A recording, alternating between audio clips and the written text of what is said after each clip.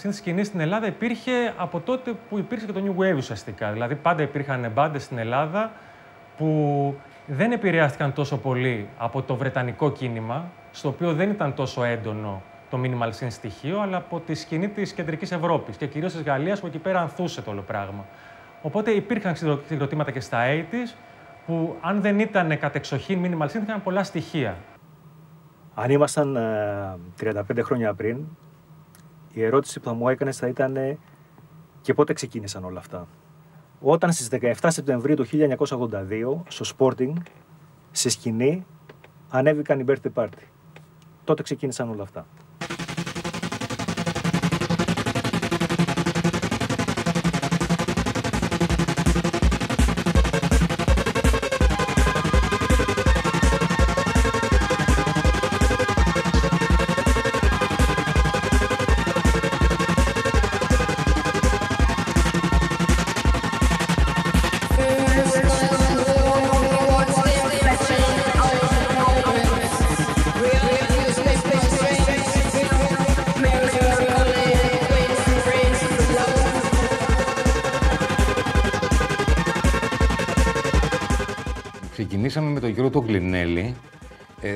Για να, γιατί ο Γιώργος έπαιζε μπάσο εκείνη την εποχή. Εγώ έψαχνα κάποιον που να παίζει μπάσο. Είχα ένα drum machine και τα synthesizer και θέλαμε να κάνουμε ένα, ένα σχήμα που να μπορεί να κάνει πρόβες μέσα σε σπίτι.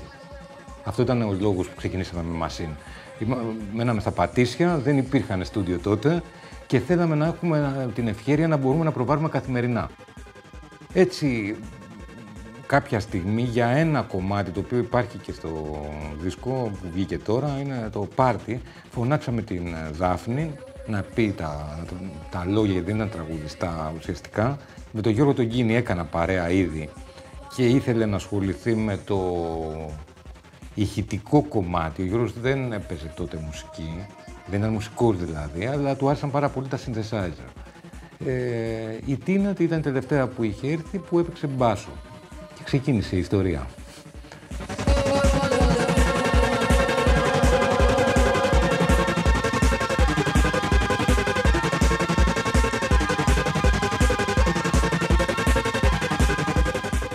Οι Alive Died ε, ξεπίδησαν από τις παρές των ρομαντικών και άγριων εφηβικών χρόνων.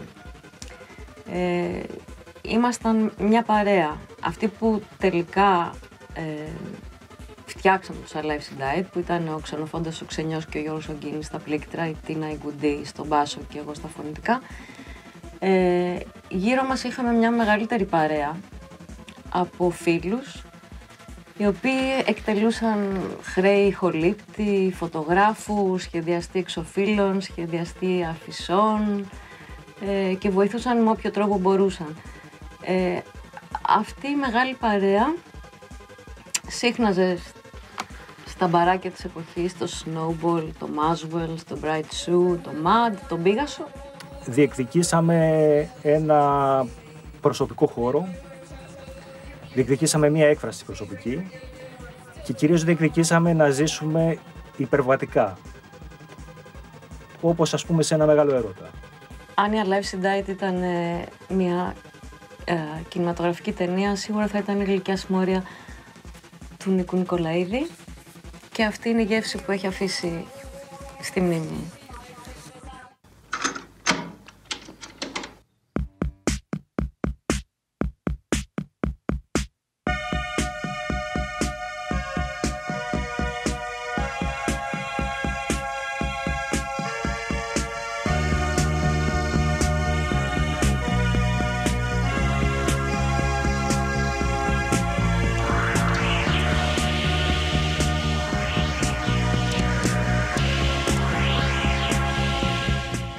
παρέα αυτή λοιπόν, τα παιδιά αυτά που διεκδικούσαν αυτό το, αυτή την υπέρβαση, ήταν μια γλυκιά συμμορία.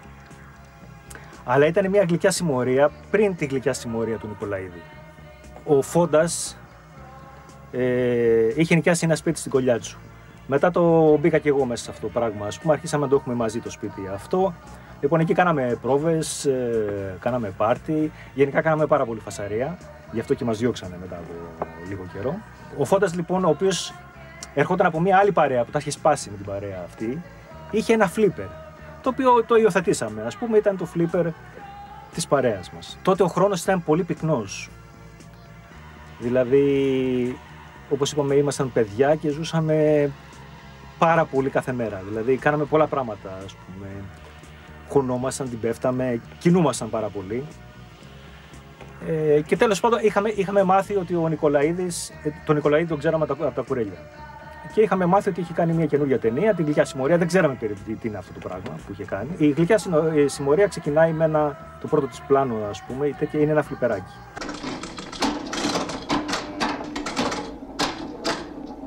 Λοιπόν, αυτό το φλιπεράκι ήταν ακριβώς το ίδιο φλιπεράκι που είχαμε στο, στο σπίτι που είχαμε στην Κολιάτσου. Όπου εκεί κοιταχτήκαμε με το φόντα, ας πούμε, και εκεί απλά νιώθεις ότι ζεις μια στιγμή, ξέρεις, που σου δείχνει, ας πούμε, κάτι, ότι όπου, κάτι γίνεται εδώ πέρα, ας πούμε, παραπάνω από εμάς, ας πούμε.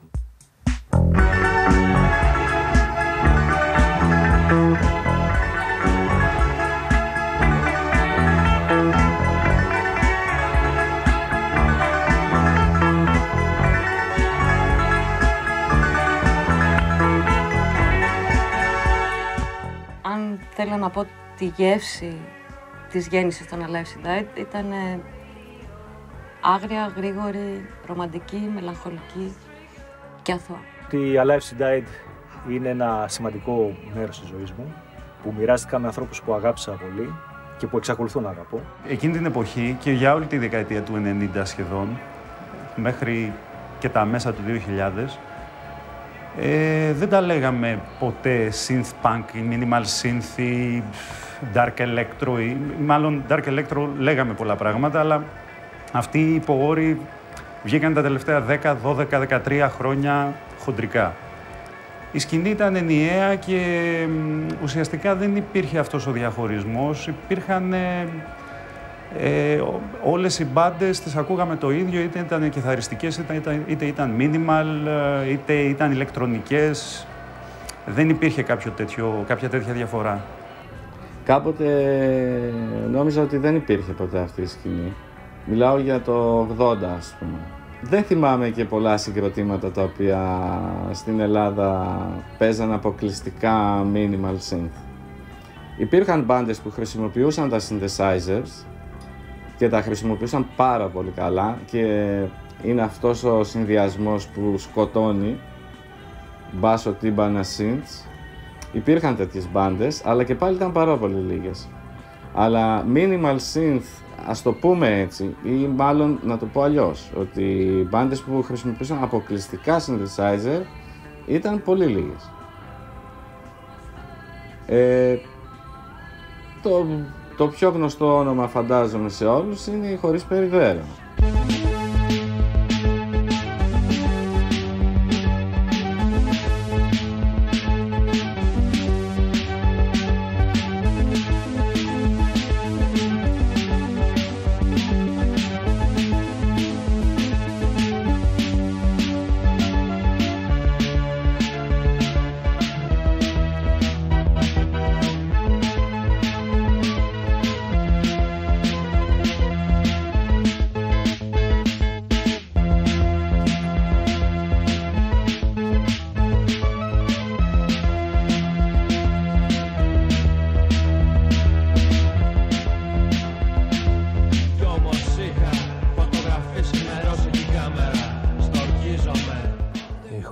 Ξεκίνησαν από ένα ταξίδι ουσιαστικά στην Ιταλία όπου κατάφερα και βρήκα ε, τα βασικά μηχανήματα τα οποία ήταν ένα CL ε, σύνθη από ένα εργοστάσιο της ΕΚΟ και εκεί πέρα υπήρχε και ένα rhythm box ε, ε, από τα παλιού παλιά και ένα ενισχυτή. Αυτά τα κουβάλισα στην Ελλάδα Μπαίναμε σε αυτοκίνητο για να μπορέσουμε να τα αγοράσουμε. Κοιμόμασταν μέσα στο αυτοκίνητο δηλαδή κάποιες μέρες. Και αυτό ήταν ο πρώτος εξοπλισμός. Ο πρώτος εξοπλισμός δηλαδή ήταν το CL, το Rhythm Box και ο ενισχυτής.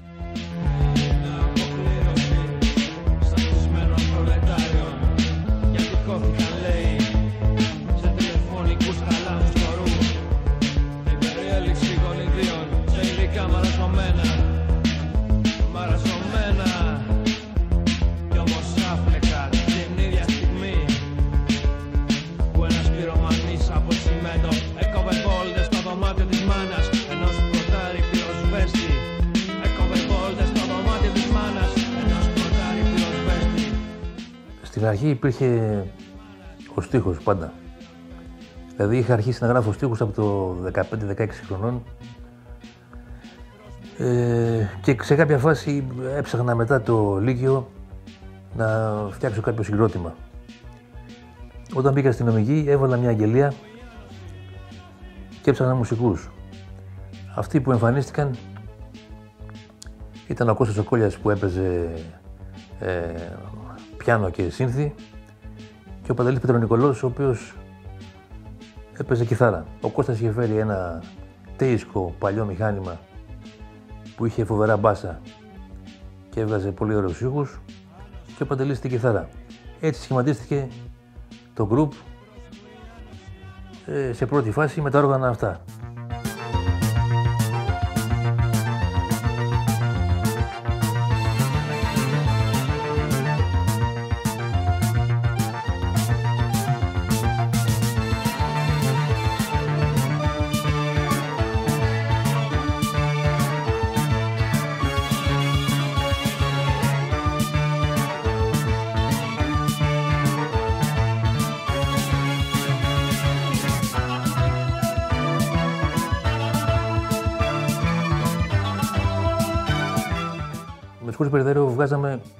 Πάρα πολλά τραγούδια.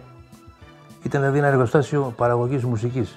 Εργαστήρι, μάλλον. Εργαστήρι παραγωγής μουσικής. Στις πρώτες συναυλίες παίζαμε δύο-τρία τραγούδια ίδια και σε κάθε συναυλία τα τραγούδια ήταν διαφορετικά. Δηλαδή αυτό που, αυτό που βγάζαμε εκεί και- και που δουλεύαμε ήταν σε ρυθμούς ε, καταιγιστικούς, δηλαδή βγαίνανε συνέχεια κομμάτια.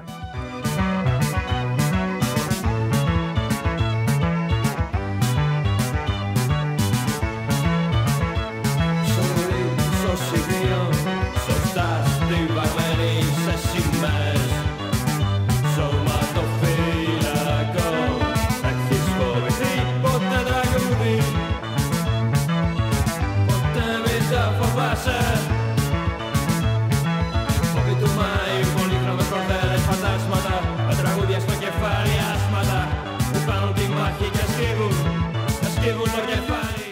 Synthesizer ε, έγινε βασικό όργανο γιατί αφενός εγώ έπαιζα παλιότερα με ένα παλιό αρμόνιο και στη συνέχεια αγόρασα αυτά τα μηχανήματα από Ιταλία.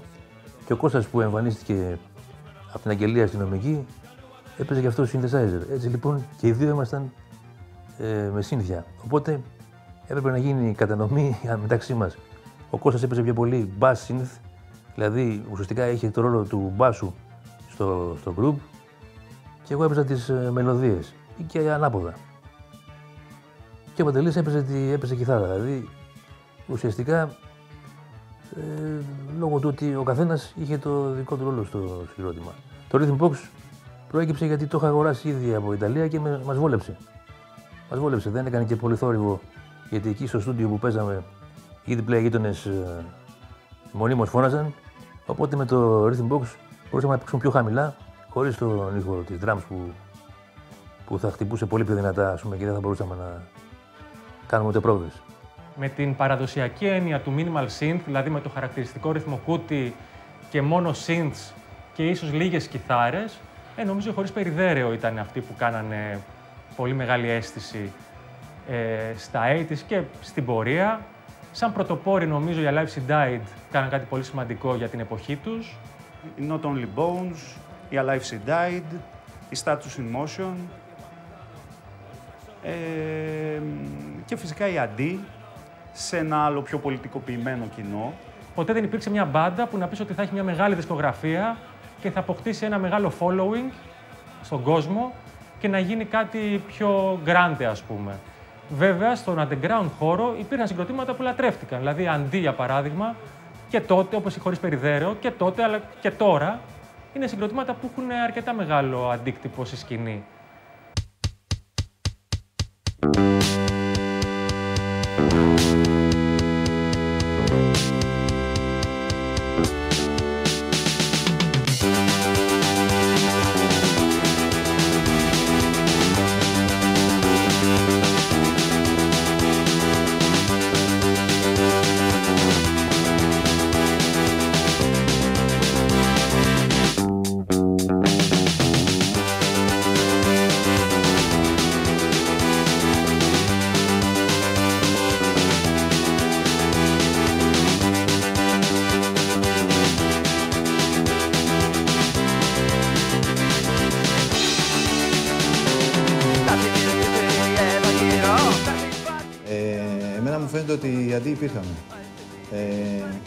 Πάντα υπήρχαν στην ιδέα, στο, στο μυαλό, υπήρχε αγάπη για ζωή, υπήρχε αγάπη για επικοινωνία, ε, υπήρχε αγάπη για συνεργασία, γενικά υπήρχε αγάπη. Και έρωτας μεταξύ μας. Μεγάλος. Οπότε κάπου έπρεπε να βγει. Το αντί, το όνομα προέκυψε μετά, η συνεργασία ήταν πριν. Ε, θεωρώ ότι όλα είναι αποτέλεσμα φιλίας. Ε, εξωτερικής ανάγκης ε, για τη μουσική πιο πολύ, με κάποιο τρόπο, με οποιοδήποτε τρόπο. Δεν χρειάζεται να ξέρεις μουσική να παίξεις. Πώς να παίξεις. Θα μάθεις. Ήμασταν ε, μια παρέα από την Ηλιούπολη. Φίλοι. Κάθε μέρα μαζί. Ζούσαμε τις ίδιες καταστάσεις. Και είπαμε να φτιάχνουμε μια μπαντά. Να μπορούσαμε να πούμε και παρά έξω αυτά που ζούμε, αυτά που αισθανόμαστε, αυτά που νιώθουμε. Και έτσι έγιναν οι αντί. Γιατί απόψε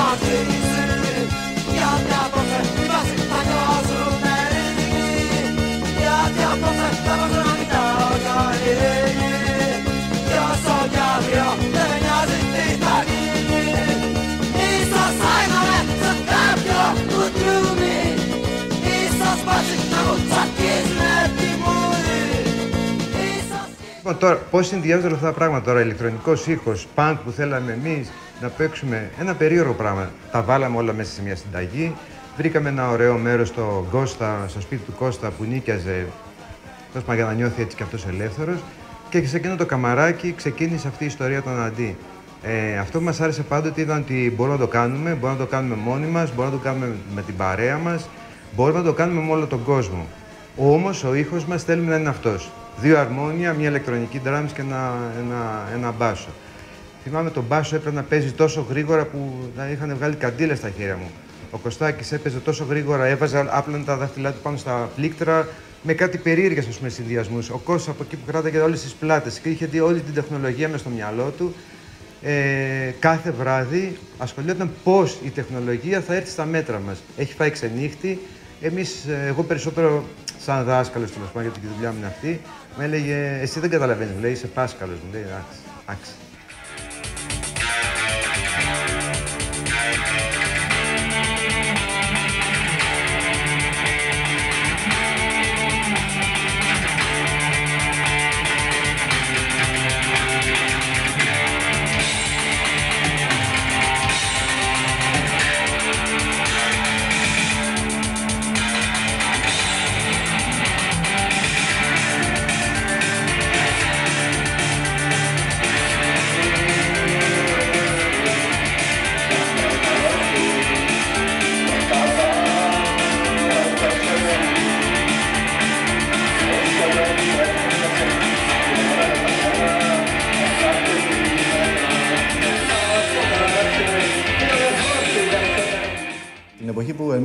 Παίξαμε με, με, με αρμόνια, δεν υπήρχαν τα σύνθη τότε, ε, ακούγαμε punk. Μόνο punk. Καθαρά punk.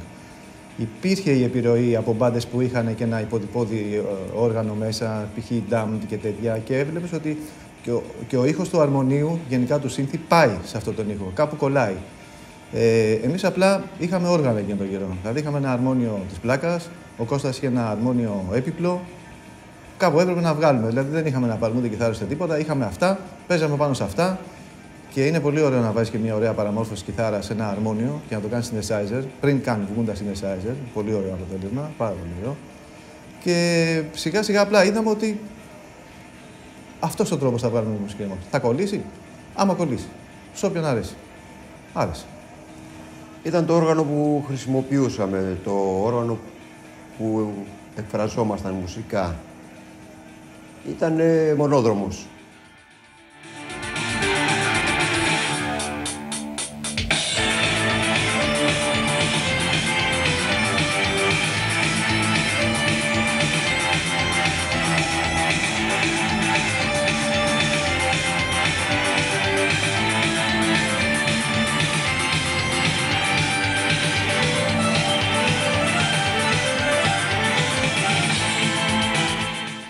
Η- η αντί ήταν ένα, είναι ένα πείραμα πάνω στον ήχο, πάνω σε αυτά που θέλαμε να πούμε, στο πώς θέλουμε να ζήσουμε τη ζωή μας.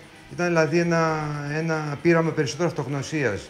Ε, Συν της άλλης όμως ότι αυτό που μας άρεσε ήταν να, να έχει, να, ε, να τα κοροϊδεύει τα πράγματα, ε, να τα παρουσιάζει με μια διαφορετική πλευρά και πάντοτε μας άρεσε η ανατροπή. Ε, υπήρχαν και, άλλα, και άλλες μικρές μπάντες σε διάφορες πόλεις ε, που δεν, δεν, ε, δεν τους ήξερε και κανείς. Ε, και να υπήρχε αυτή η σκηνή ήταν κάπου στην αφάνεια.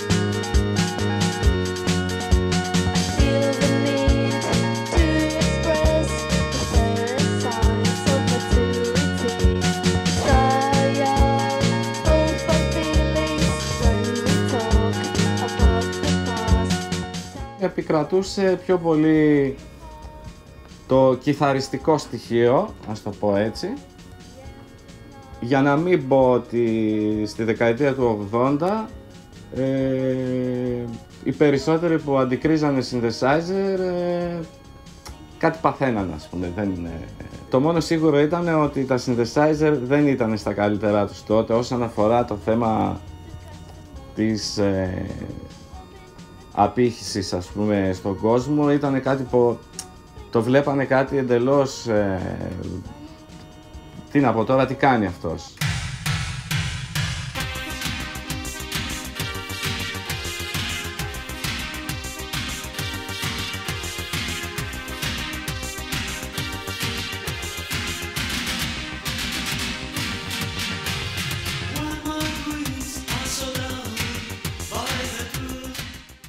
Αρχές δεκαετίας 80 έπαιζα ακόμα με μία punk μπάντα στην Πάτρα, ε, τους 80's Ways. Εκεί άρχισα, πέρα από κιθάρα που έπαιζα, να πειραματίζομαι με διάφορα πετάλια, συνδέοντάς τα στη σειρά και φτιάχνοντας και κάποια κυκλώματα, αναλογικά κυκλώματα, να κάνω κάποια εφέ που εμπλουτίζαν τον ήχο ε, του συγκροτήματος. Ε, λίγο αργότερα πέφτει στα χέρια μου ένα Roland Synthesizer. Δεν ξέρω πάρα πολλά πράγματα από προγραμματισμό εκείνη την εποχή, αλλά αρχίζω και μπαίνω στα βαθιά, ψάχνοντάς το σύμφωνα με αυτό που άκουγα περισσότερο, παρά με τεχνικές γνώσεις.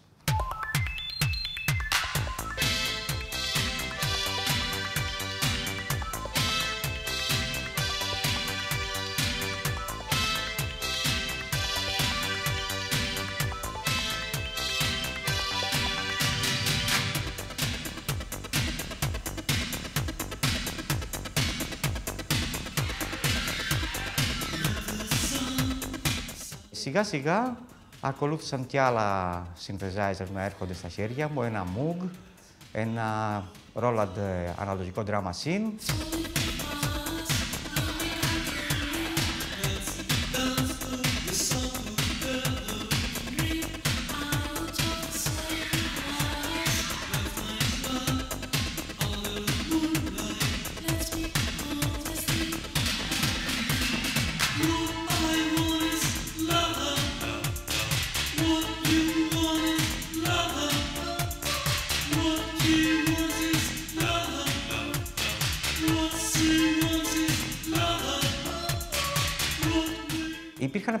Μυαλό μου που μπορεί να μην μπορούσα να τα αναπαράγω ακριβώς, αλλά μπορούσα να φτιάξω με αυτά τα πρώτα synthesizer που είχα ε, ένα ηχητικό τοπίο που εμένα με έβαζε πολύ βαθιά μέσα σε αυτό που ήθελα να εκφράσω.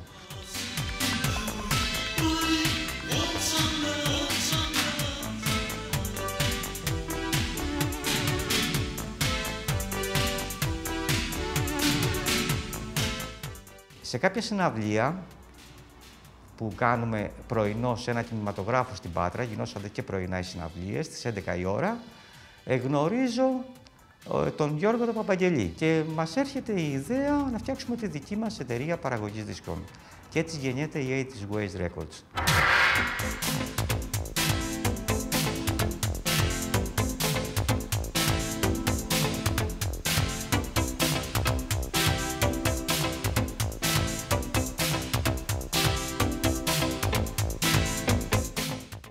Ανέκαθεν η Ελλάδα είχε δυνατή σκηνή σε αυτό το είδος, όχι μόνο όσον αφορά τη minimal σκηνή, αλλά όσον αφορά και το new wave και το post-punk και το dark wave, είμαστε πολύ δυνατοί θα το έλεγα.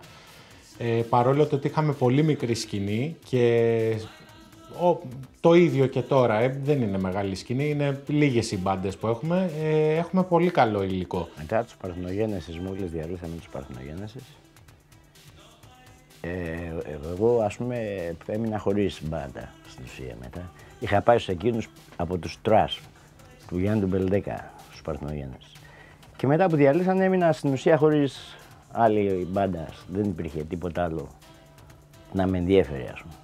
Ε, βρέθηκε ένας ε, Αυστραλός, Ελληνοαυστραλός, από τους Homicide τραγουδιστής και μαζί με κάποιον μάνατζερ, τον Ηλία το Μιτσάκη, βρέθηκαμε στο περισσό σπίτι του Ηλία του Μιτσάκη στην αρχή και αρχίζαμε να παίζουμε. Και άρχισαμε και γράφαμε κομμάτια. Και επειδή γράφαμε κομμάτια το ένα μετά το άλλο, αρχίσαμε και βάζαμε τις ιδέες μας, δηλαδή και τα ακούσματά μας μαζί, να αποφασίσαμε αυτό να το κάνουμε παραγωγή. Και νοικιάζω ένα σπίτι στη Δάφνη και μας μαντρώνει όλους μέσα και ετοιμάζουμε το δίσκο. Συνθετικά και παίζοντας ταυτόχρονα. Και με ένα primitive drum machine, δηλαδή πολύ πρωτόγονο.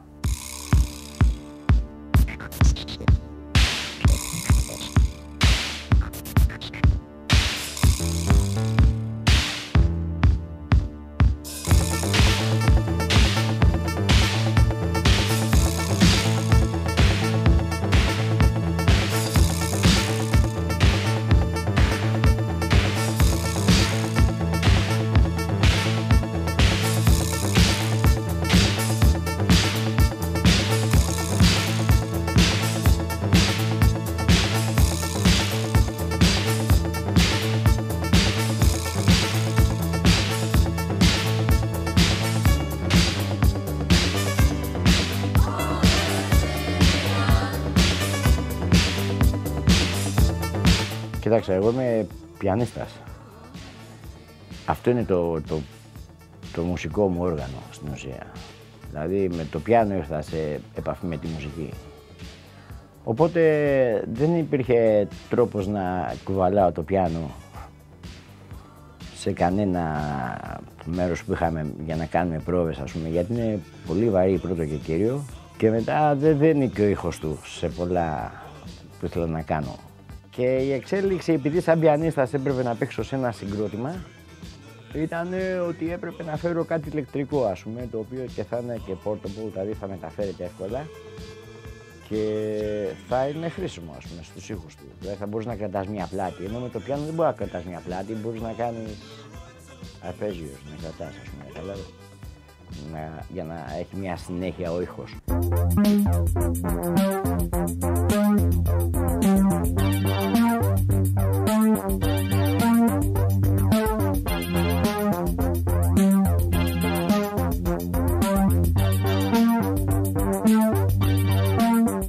Βρεθήκαμε με τον Φιλίπ μέσω φίλων, Γάλλων, στην ε, Αγία Παρασκευή που έμενα. Ε, μιλήσαμε περί μουσικής, α, είχαμε πολλά ίδια ακούσματα και πάνω στην κουβέντα μου είπε ότι έχει ένα synthesizer, το EMS. Ε, την επόμενη μέρα το έφερε σπίτι και ξεκίνησαν το Bones.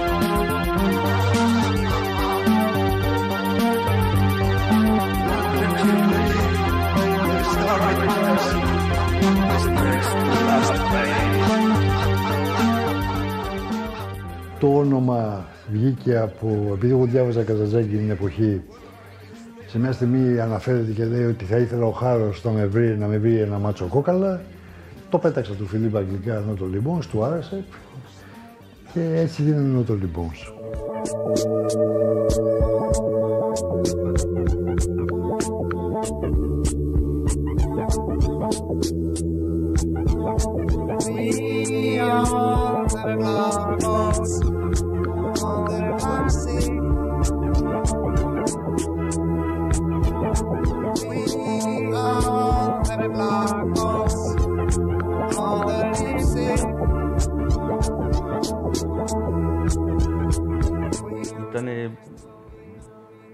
Τρώγαμε, πίναμε, ακούγαμε μουσική. Δε- Δεν αρχίσαμε αμέσως, εντάξει, όταν μπήκε και το EMS, ε, άρχισαμε τη δουλειά. Αλλά έτσι είχε αρκετά μπλα μπλα πριν.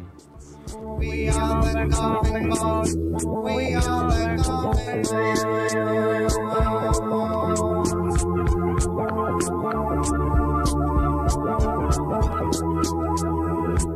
Εγώ είμαι κιθαρίστας, αλλά επειδή είμαι και σχιζοφρενής, το πω με την έννοια ότι από τη μια μεριά είμαι καλλιτέχνης και από την άλλη πολύ τεχνοκράτης, μαγεύτηκα από αυτό που είδα στο EMS. Ε, σκεφτήκαμε λοιπόν ότι αυτό θα ήταν μια βάση για να δημιουργήσουμε κάτι το οποίο θα ήταν πολύ πιο βαθύ σε ψυχισμό. Ε, αυτό το σχήμα bass στο drums κιθάρα δεν έφτανε για τα δικά μας ακούσματα και για τις δικές μας, ε, αν θέλεις, εμπνεύσεις. Και έτσι το χρησιμοποίησαμε και μας δικαίωσε. Δηλαδή έδωσε κάτι άλλο, ένα άλλο αέρα, ένα, μια άλλη ατμόσφαιρα στη μουσική μας. Ε, βγήκε αυτό σαν ε, τρίτο πρόσωπο μέσα στο συγκρότημα, το, ε, το EMS.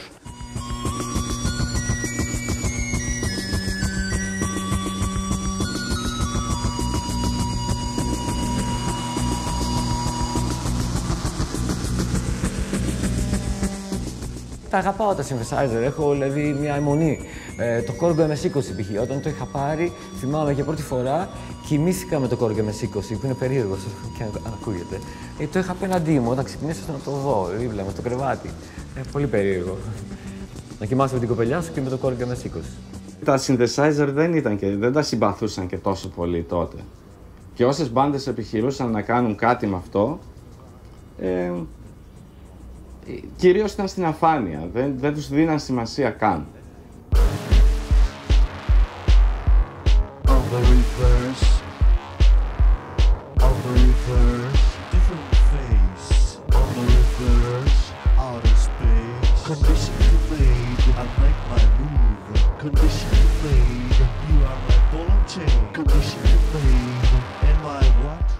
Το Synthesizer τότε ήταν μια εύκολη και φθηνή λύση για μένα.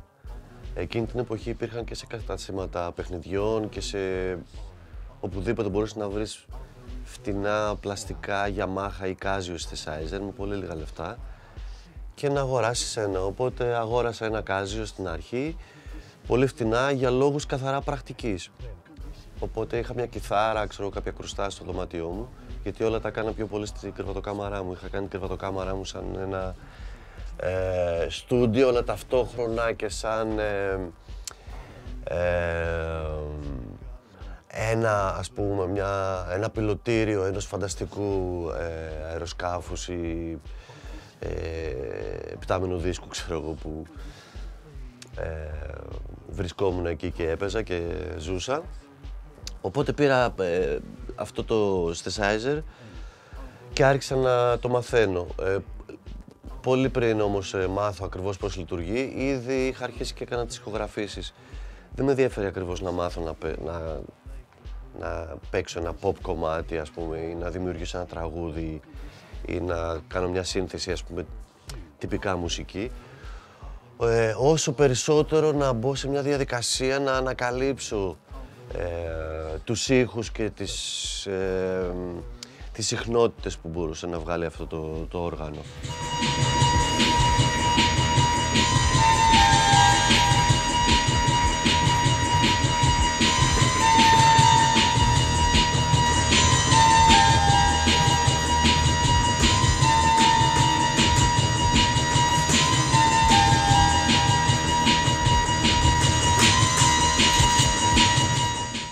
Suicide, όπως καταλαβαίνεις και από τον τίτλο, είναι ένα tribute, ένα αφιέρωμα, ένας φόρος τιμής στο συγκρότημα, στον Alan Vega και στο Martin Rev.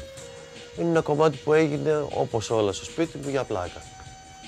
Πατάω το κουμπί drum machine, παίζω τη μελωδία, ε, γράφω σε μια κασέτα η οποία έχει ξαναγραφτεί πιο πριν, γιατί το έκανα αυτό, έσβηνα και έγραφα τις κασέτες, αλλά για κάποιο λόγο, επειδή είναι κασέτα χρωμίου, κρατάει από πίσω την προηγούμενη ηχογράφηση. Υπάρχει δηλαδή ε, ένα ghost, ένα, ε, ε, ένα φάντασμα ουσιαστικά που το άκουσα μετά. Όπως ηχογράφησε το κομμάτι, έβαλα να το ακούσω και από πίσω ακούγεται ήδη η προηγούμενη ηχογράφηση. Πολύ του στοιχιώνει αυτό το πράγμα.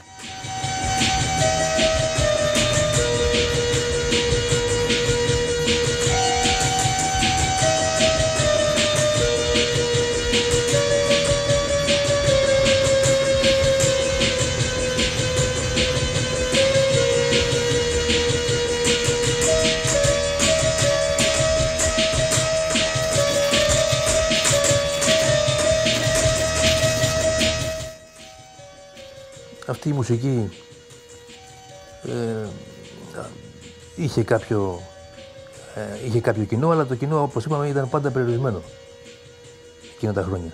Το κοινό τότε είχε μια σχετική ε, ομοιογένεια. Απ' την άποψη ότι άκουγε τα πάντα. Ήτανε μετρημένα κουκιά. Δηλαδή το αν γέμιζε, ε, αυτοί ήτανε. Θα ερχόντουσαν να ακούσουν. Δεν ξέρω αν ε, ακουγόταν περίεργο. Δεν είχα τέτοια αίσθηση, ας πούμε. Δεν είχα μια αίσθηση ότι είμαστε πολύ πιο περίεργοι από τους υπόλοιπους, ας πούμε. Όλα περίεργα ακούγονταν τότε, ούτως ή άλλως. ε.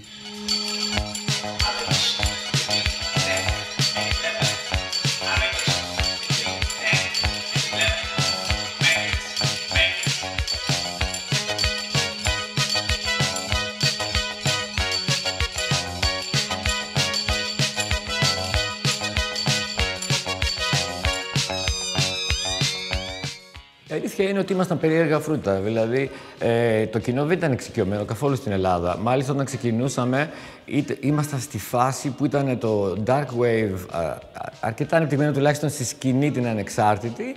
Με εμάς ειδικά υπήρχε μια δυσπιστία. Δεν ήταν μόνο τα synthesizer, υπήρχαν διάφοροι λόγοι. Νομίζω ήταν και η παρουσία δύο κοριτσιών. Η εποχή δεν τα πολύ σήκωνε αυτά.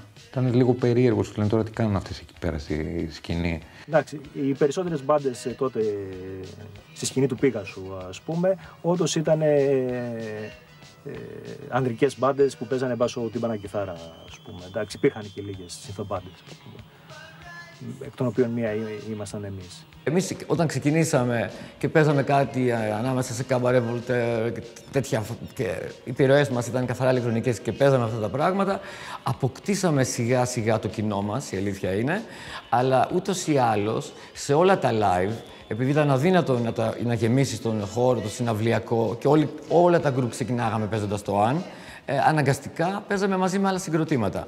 Οπότε το κοινό ήταν ετερόκλητο. Εδώ πρέπει να πω μια αλήθεια, η οποία είναι η εξής. Εμείς βγαίναμε ξαφνικά και παίζαμε με αρμόνια, ούτε καν σύνθη. Η πρώτη επαφή ήταν με αρμόνια. Ε, φαντάσου τον ξερό ήχο του αρμονίου σε ένα punk κοινό. Αν δεν τους ξέραμε, θα μας πετάγαν ντομάτες. Τους ξέραμε και απλά με το ζόρι δεχτήκαν τον ήχο. Γιατί απλά μας ξέρανε. Τώρα σιγά σιγά ανακαλύψαμε ότι και οι πάνκιδε τελικά γουστάρουν λίγο το σύνθη. Το έχουν μέσα τους, απλά δεν μπορούν να το βγάλουν. Να πω αποδείκτη. Ε, έτυχε ξαφνικά να παίζουμε σε αρκετές πλατείες της Αθήνας μπροστά σε κόσμο, παππούδες, γιαγιάδες, παιδιά, γονείς τέλος πάντων. Και μετά και σε πιο εξειδικευμένο κενό, στο κοινό μας, ας πούμε, που θέλαμε ας πούμε, τους πάνκεδε να μας κοιτάνε και να μας λένε τι ωραία που παίζετε. Αυτό το κοινό έχει πάρα πολύ, πάρα πολύ πλάκα γιατί καθόντουσαν και κοιτάγανε απαθείς. Δηλαδή, απαθείς. Καθόντουσαν και σε κοιτάγανε. Δεν φεύγανε. Αυτό είχε πάρα πολύ μεγάλο ενδιαφέρον και αυτό κοιταγόμαστε με του κόσεις. Δεν φεύγουν, άρα παίζουμε. Αλλά το κοινό ε, όντως δεν ήταν εξοικειωμένο. Να πω και κάτι, ας πούμε, στη Ιαπωνική π.χ. τι- όταν παίξαμε στο φεστιβάλ που ε, κατέλ, ξεκινούσε με Main Trans 95, παίζανε και η Slow Motion και η South και η Villa και κατέληγε σε Punks Romana, που ήταν και υπήρχε punk κοινό. Ε, μας βλέπανε εμάς με τα synthesizers στη σκηνή, με τα μαύρα ρούχα, με το strobe light στο χέρι και νομίζαν ότι ήμασταν πλουσιόπεδα, το αντίθετο. Δηλαδή, ε, δεν ξέρω κι εγώ τι. Μας πετά... Κάποιοι μας πετάγανε μπύρες, κάποιοι χορεύανε. Κλουζούσα εγώ τις μπύρες πίσω, μου άρεσε βέβαια. Ε, Τρώγαμε βροχή μπύρες, τις πετάγαμε πίσω και μετά έβλεπα και τσακωμό κάτω στο κοινό. Από κάποιους που τους άρεσε ο ήχος μας, άλλους έτσι. Άλλοι χορεύανε και γινόταν ένα ενδιαφέρον κατάσταση. Αυτό ήταν βέβαια σε φεστιβάλ. Όταν ήταν σε μικρότερους χώρους, εκεί ε, άρχισα να παρατηρώ τη διαφορά ε, περίπου κάπου στον ένα με δύο χρόνια μετά που έβλεπα κοινό από κάτω που χόρευε και είχε ακούσει τα, τα πρώτα singles, το album. Ε, Κάπως έτσι ήταν η φάση στην Ελλάδα τότε.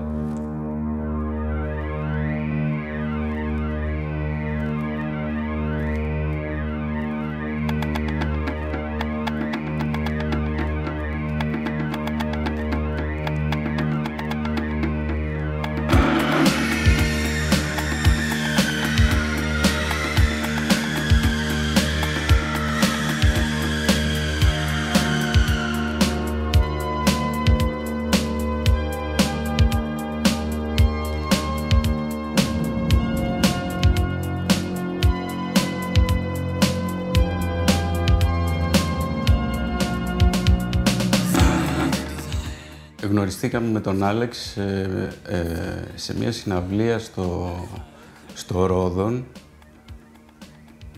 Έπαιζε ο Μπλέιν Ρένιγκερ. Απλώς είχαμε και οι δύο την ίδια ακριβώς επιθυμία, ενώ πιάσαμε τυχαία συζήτηση περιμένοντας το live να ξεκινήσει, να κάνουμε ένα ηλεκτρονικό ντουέτο, ε, που ο ήχος θα βασιζόταν στα, μόνο στα synthesizer, στα drum machines, ακριβώς αυτό το πράγμα. Αυτό θέλαμε να κάνουμε. Άγνωστοι μεταξύ αγνώστων, δεν ξέρω, πιάσαμε κουβέντα. Ε, από εκεί και πέρα κολλήσαμε. Ε, και είπαμε να βρεθούμε, ξέρω εγώ, να, να κάνουμε μουσική μαζί. Την ίδια ημέρα που το συζητήσαμε, την αμέσως επόμενη μέρα γεννήθηκε το συγκρότημα. Ο Νίκος έτυχε να έχει ένα στούντιο στην Καλυθέα, Λικούργο 95 που προέκυψε και στο όνομα του συγκροτήματος, Ε, περάσαμε άπειρες ώρες εκεί μέσα, τώρα πιτσιρίκια. στο οποίο πλέον αρχίσαμε να γράφουμε μουσική για τα επόμενα δύο χρόνια κάθε μέρα. Από το μεσημέρι μέχρι τα ξημερώματα της επόμενης ημέρας. Κάπως έτσι ξεκίνησε.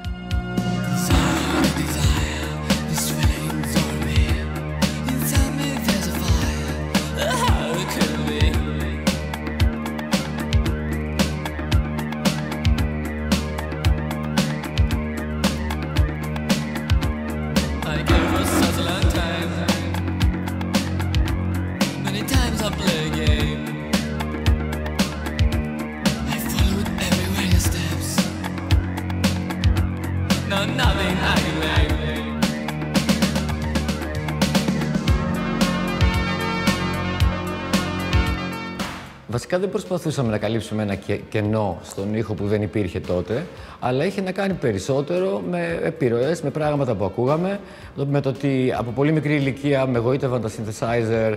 Θυμάμαι πάρα πολύ μικρός, ακόμα και στην ηλικία των 10-11, όταν είχα ακούσει το ήχο του white noise, που έλεγα πώς βγαίνει αυτός ο ήχος και μας ενδιέφερε, με ενδιέφερε πάρα πολύ να το ερευνήσω ε, περαιτέρω. Δεν είχαμε μάθει να παίζουμε κιθάρα, απλά. Εγώ έπαιζα πιάνο, ας πούμε, μικρός όταν ήμουνα. Λογικό ήταν να ασχοληθώ με κάτι που είχε να κάνει με πλήκτρα. Θέλαμε να κάνουμε ακριβώς αυτό το πράγμα. Και μάλιστα ένα ενδιαφέρον στοιχείο είναι ότι θέλαμε να είναι και ντουέτο. Ε, μας ενδιαφέρει να είμαστε οι δυο μας μόνο. Ε, και έτσι ξεκίνησα και παίζαμε ακλα- α- ακριβώς αυτό που νιώθαμε.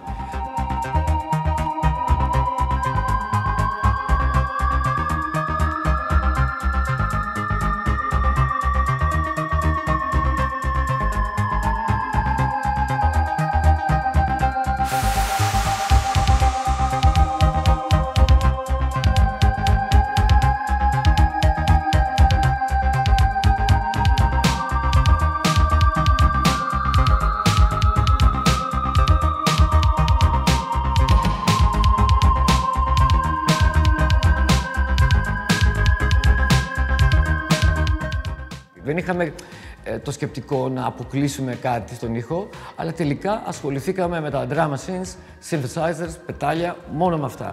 Και τελικά μας ενδιέφερε να ήταν purely electronic. Όλο το, ο- ό,τι κάναμε με το Syntrance 95. Είχε και μία γοητεία, ήταν κάτι καινούριο για μας.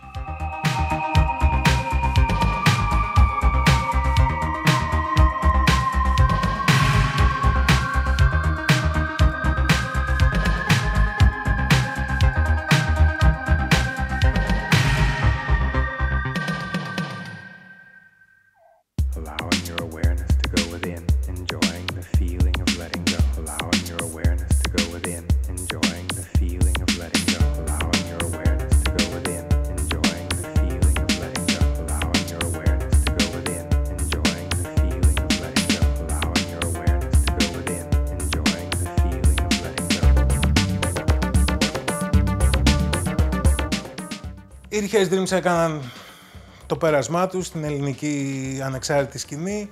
Κάποια στιγμή έφυγα για Σουηδία, βρέθηκα μόνος μου και ήξερα ότι τα, συν- με τα synthesizers μπορούσα να φτιάξω μουσική ή να την ολοκληρώσω ή να ολοκληρώσω ένα μουσικό κομμάτι μόνος μου. Οπότε άρχισα να χτίζω το πρώτο μου home MIDI studio. Και σιγά σιγά ασχολήθηκα με τον ήχο, με τα sequencers, με τις μαγνητοτενίες, με τα πομπινόφωνα, τετρακάναλα, όλα αυτά. Και έγραφα μόνος μου μουσική με synthesizers, δηλαδή δεν υπήρχε μια μπάντα. Συνεργαζόμουν με διάφορους ανθρώπους, μέχρι που στις αρχές της δεκαετίας του 90 φτάνω κάποια στιγμή, επιστρέφω από τη Σουηδία για τις σπουδές μου και ε, βρίσκομαι πάλι με τους παλιούς φίλους μουσικούς και συνεργάτες και βρεθήκαμε με το Μάκη το Φάρο και αποφασίσαμε να ξεκινήσουμε να γράφουμε ηλεκτρονική μουσική. Οι Raw φτιάχτηκαν σε αρχές του 90, το καλοκαίρι του 90. Ξεκινήσαμε να δουλεύουμε με το Μάκη ε, με ένα Macintosh και μια Amiga και πολλά synthesizer και αρχίσαμε και γράφαμε μουσική ε, χωρίς ε, φραγμούς και όρια, ό,τι μας άρεσε. Σιγά σιγά ο Κόντι μας βοηθούσε στην ηχοληψία και μας βοηθούσε στις ηχογραφήσεις μέχρι που εμείς παίζαμε μόνοι μας με το Μάκη βέβαια ως ντουέτο αλλά ο Κόντι ήταν σαν ένα τρίτο άτυπο μέλος. Κάποια στιγμή το 94 νομίζω ο Κόντι έγινε το τρίτο επίσημο μέλος των Ρο.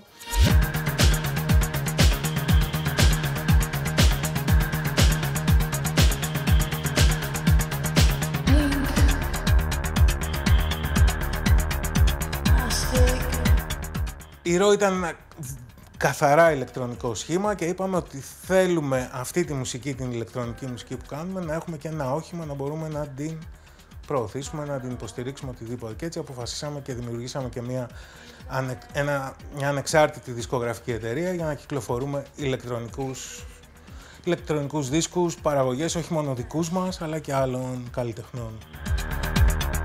Hologramic intercourse,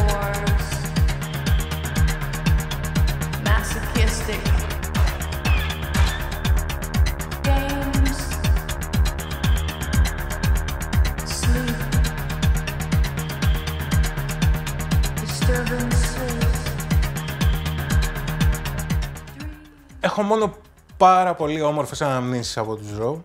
Γενικά, ό,τι κάναμε το κάναμε αντιμετωπίζοντας τους εαυτούς μας πρώτα απ' όλα με χιούμορ.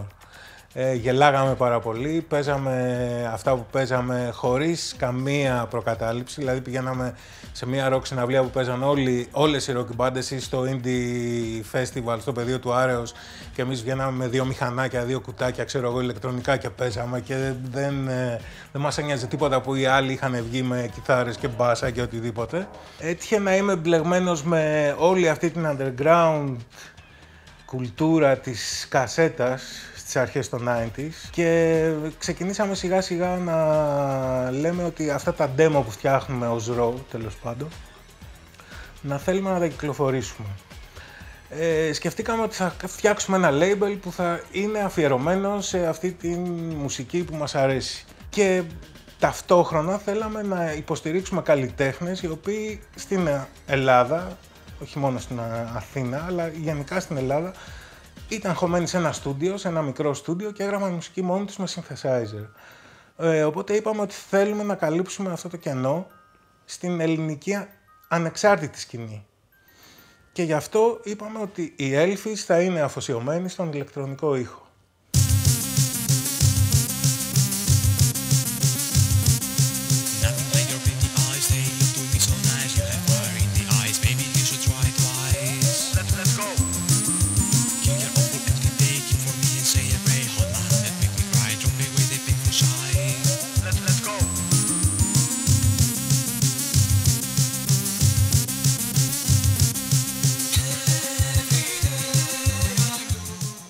Ίντερνετ βοήθησε πάρα πολύ. Γιατί τα πιο πολλά από αυτά τα συγκλάκια που βγήκαν από τις μπάντες της Minimal Synth και τα albums στην Ελλάδα, γιατί στην Ελλάδα δεν υπήρχαν πολλά συγκλάκια, δεν βγήκαν πολλά Minimal Synth συγκλάκια, ενώ στο εξωτερικό ήταν το κατεξοχήν μέσο που κυκλοφορούσε αυτή η σκηνή.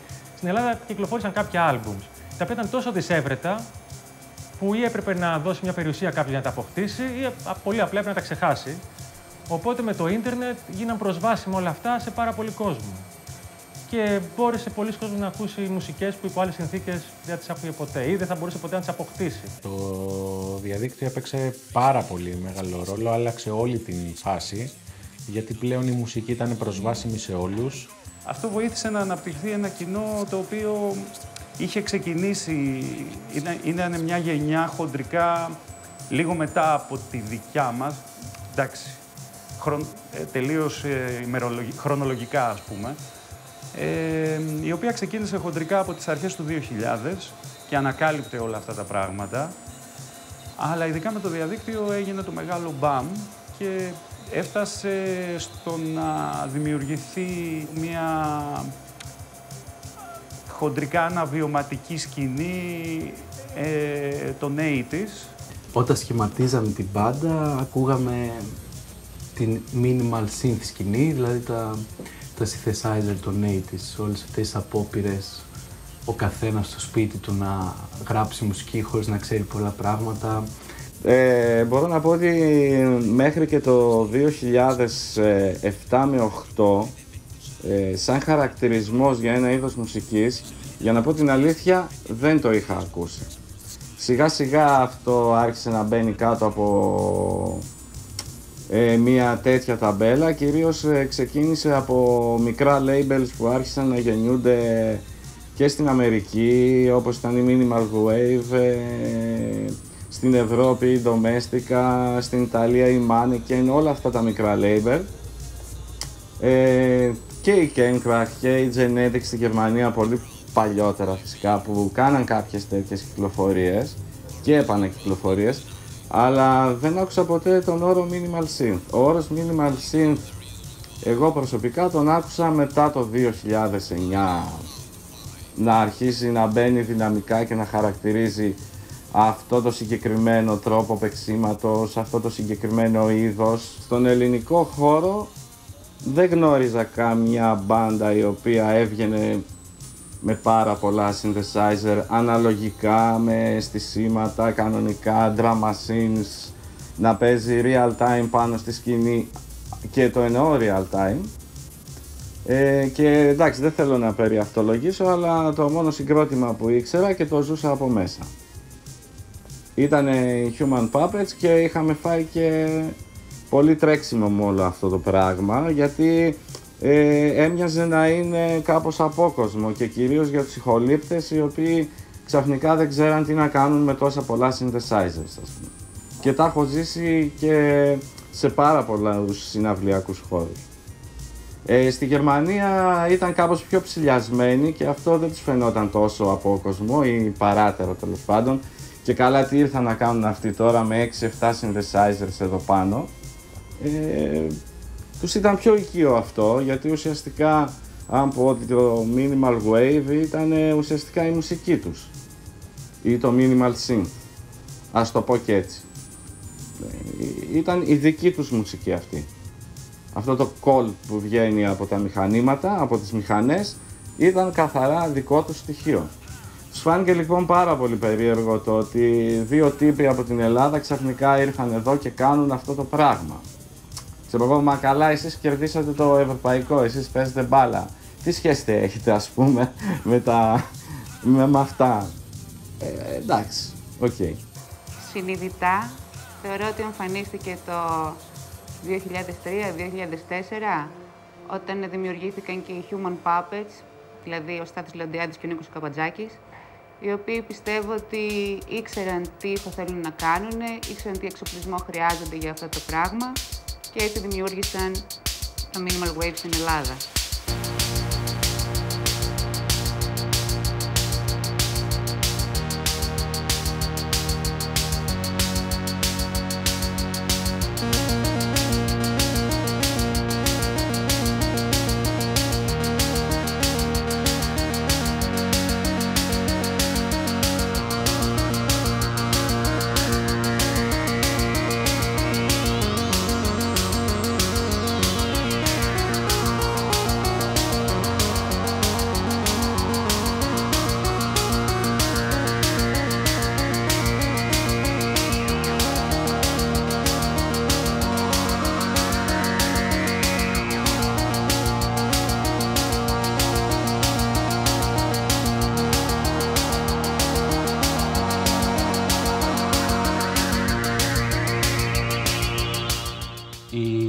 Human Puppets ξεκίνησαν το 2003 μαζί με τον Νίκο τον Καπατσάκη στην Αθήνα.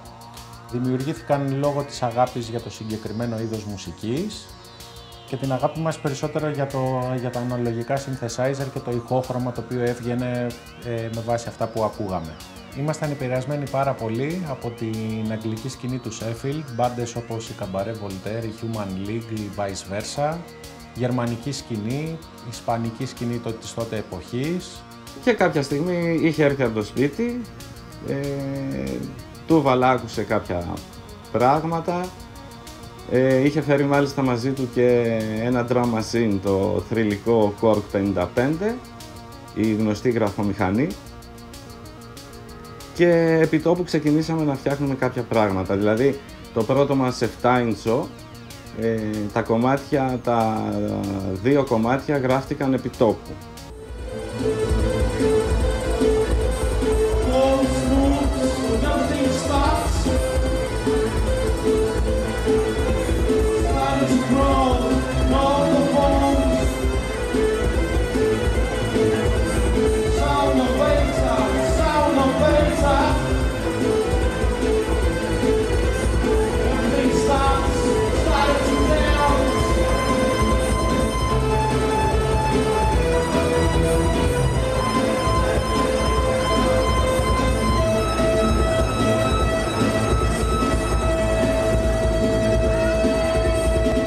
Αποφάσισα να κάνω μία πλάκα σε ένα φίλο. Υποτίθεται ότι ήταν μια μπάντα του 81, μια χαμένη κασέτα που τη βρήκε κάποιος και την έδωσε σε κάποιο άτομο στη Γερμανία και αυτό το άτομο την ίδια κασέτα την έστειλε στον ε, Jörg Steinmeier που έχει την Genkraft και ο οποίος αποφάσισε να το βγάλει σε, σε βινίλιο. Βέβαια του εξηγήσαν ότι δεν είναι μπάντα του 81, είναι κάποια παιδιά από Ελλάδα οι οποίοι παίζουν έτσι.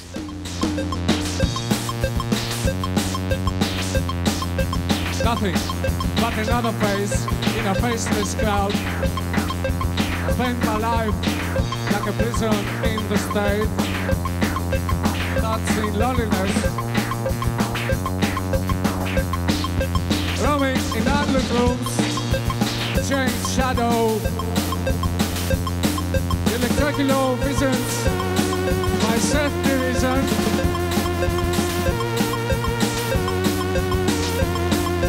Television Eye, Television Eye.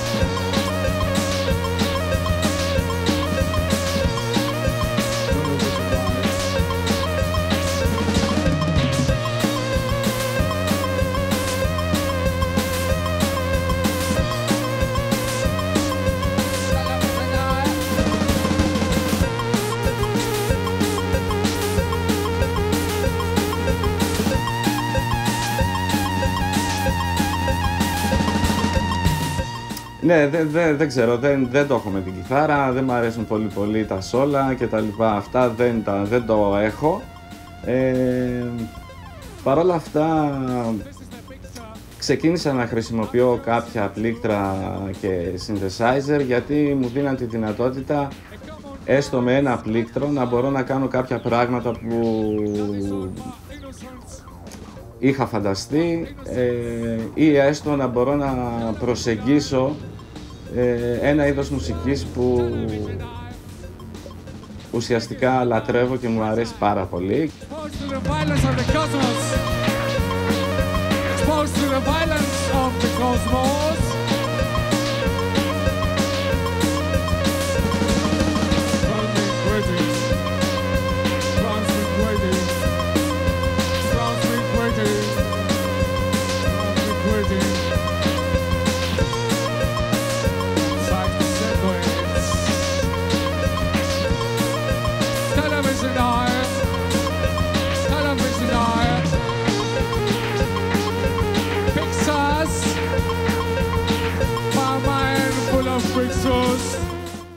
Ήταν η φυσική εξέλιξη, ε, αν και ασχολιόμουν και στο παρελθόν με τη μουσική, αλλά είχα ξεκινήσει ως ε, μπασίστας.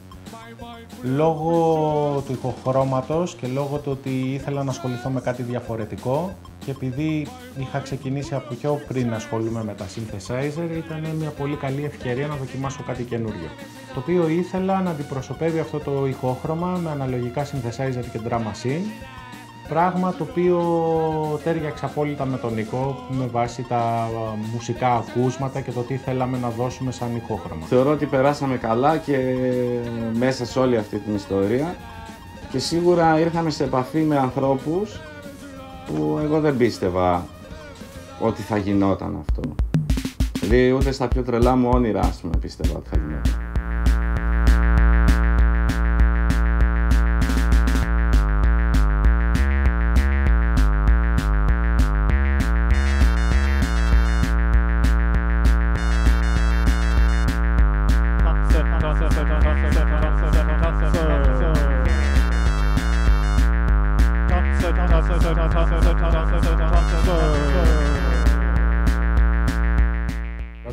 Ξεκινήσει με τους Human Puppets και είχαμε γράψει το, τα πρώτα μας τραγούδια, ένας πολύ καλός φίλος ε, που γνωριζόντουσαν τότε μέσω ίντερνετ ε, του έστειλε τα τραγούδια μας και αν θέλει να τα κυκλοφορήσει στο label του. Όπου έτσι και ξεκίνησε η συνεργασία, βγήκε το πρώτο 7 inch και το πρώτο LP στην Genkrach και έχοντας αποκτήσει πλέον μία σχέση, είχε έρθει στη Θεσσαλονίκη τότε που μέναμε δύο χρόνια μαζί να μας επισκεφτεί. Και κάποια στιγμή εκεί που καθόμασταν και παίζαμε με τα σύνθια, είπαμε στο Γιώργο να αρχίσει να τραγουδάει και να λέει ό,τι θέλει, ας πούμε, στα γερμανικά. Ε, και κάπως έτσι βγήκε το πρώτο μας, δημιουργήθηκε το project το Plexiglass, το οποίο βγήκε ένα εφταράκι με τρία τραγούδια.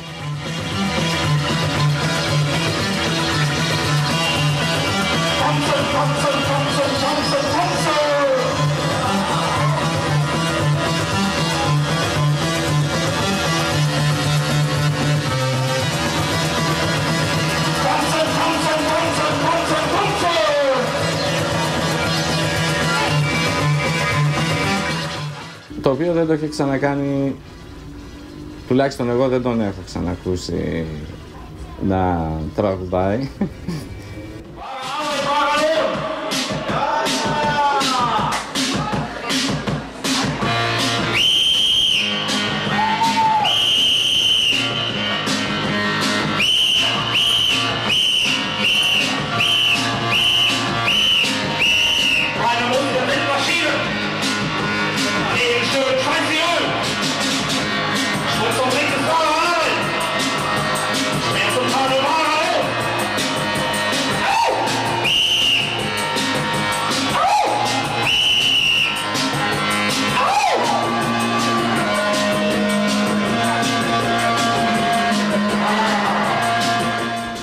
Εντελώς αυθόρμητο και γεννήθηκε από το πουθενά.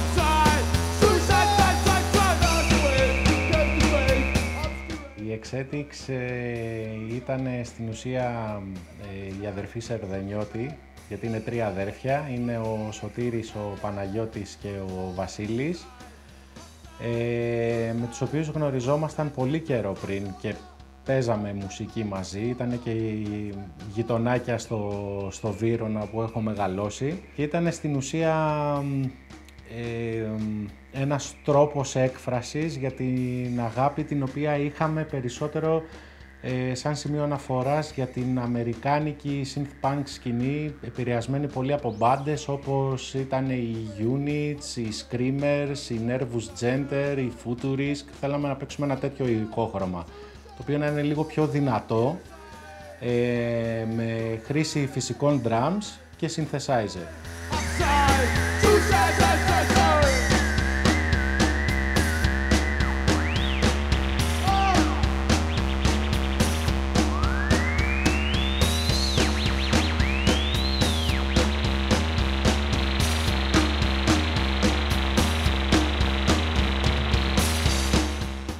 Ξεκινήσαμε να κάνουμε πρόβες και το υλικό έβγαινε αβίαστα σε φάση ότι κάναμε μία πρόβα και μπορούσαμε να βγάζαμε και 10 κομμάτια στο τζαμάρισμα αλλά να είναι ολοκληρωμένα. Ε, και επειδή έβγαινε αυτή η δυναμική, ε, αποφασίσαμε κιόλας να ηχογραφήσουμε και το υλικό μας ζωντανά στο στούντιο, το οποίο κυκλοφόρησε και από το δικό μας το label που είχαμε φτιάξει εγώ με τη Δήμητρα το, τη Fifth Floor Entertainment και το βγάλαμε σε βινίλιο.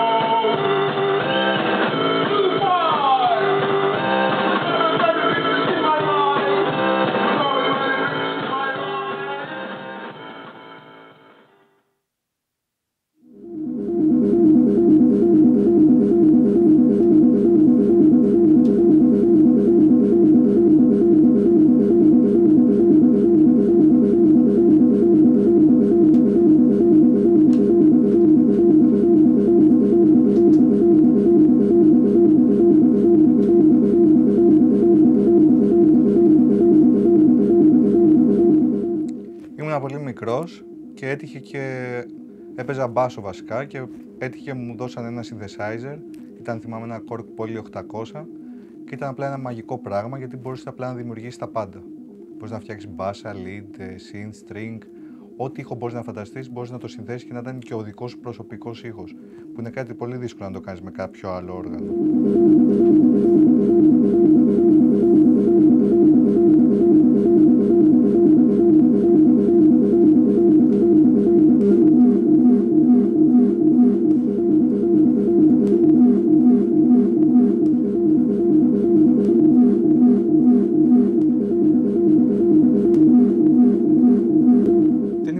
Προτίμηση. Το καλύτερο πράγμα από όλα είναι να συνδυάσει και τα δύο.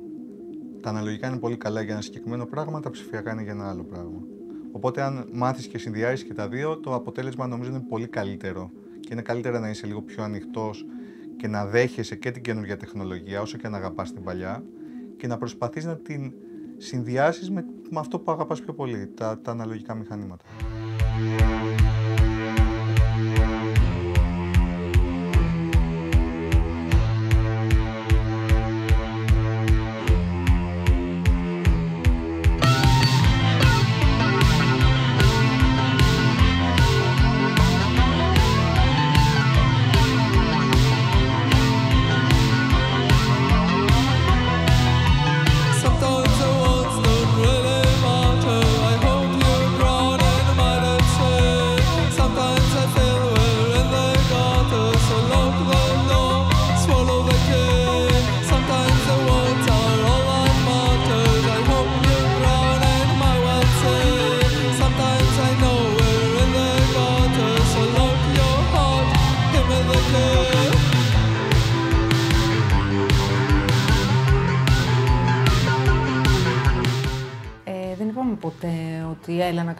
Μπάντα. Ήταν όλο αυθόρμητο, σαν μια φυσική μας εξέλιξη. Δηλαδή γνωριστήκαμε, ε, είμαστε μαζί και όπως άλλοι άνθρωποι παράγουν, κάνουν ένα παιδί, κάνουν κάτι, εμείς κάνουμε την μπάντα. Ζούσαμε πάντα βέβαια και οι δύο μέσα στη μουσική. Εγώ ήμουν DJ σε ένα κλαμπάκι, ο Δημήτρης ε, είχε μαγαζί με μουσικά όργανα, είχε μια δισκογραφική την Dead Scarlet ε, και έπαιζε και ο ίδιος ε, punk τότε. terrified.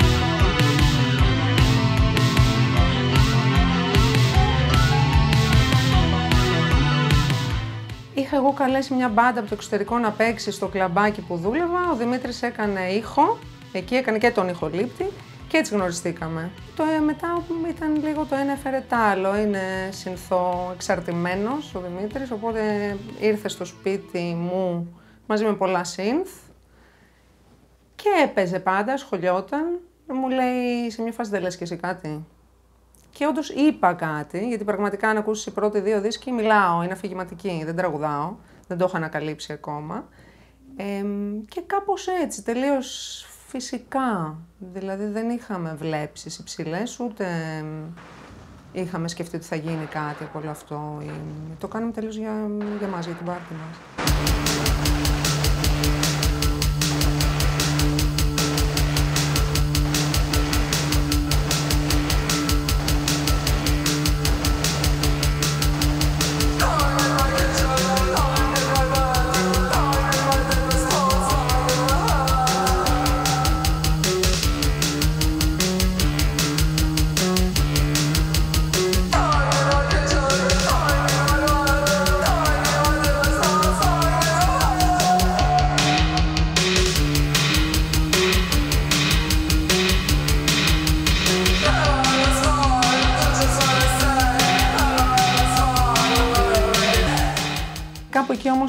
Άνοιξε μια πόρτα που πίσω της έκρυβε το σύμπαν το δικό μας τελείως, το οποίο δεν είναι διασκεδαστικό, είναι αρκετά συγκινησιακό, αρκετά ζωφερό, ε, αλλά είναι όλο δικό μας και μ, είναι ο κόσμος μας.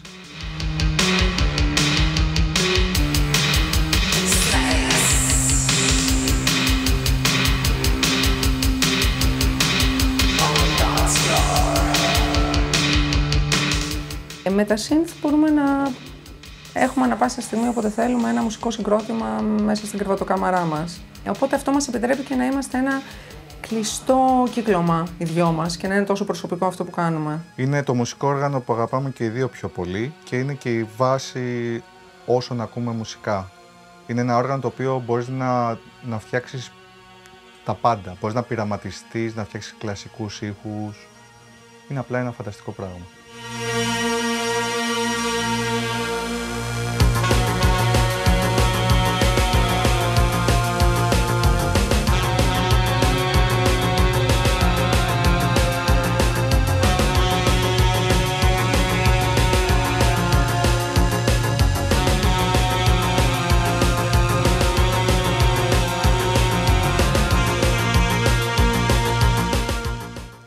Εγώ περιγράφω συναισθήματα, γιατί γράφω κυρίως τους στίχους.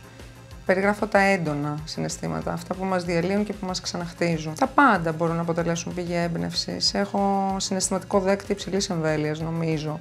Συγκινούμε εύκολα, εντυπωσιάζομαι εύκολα.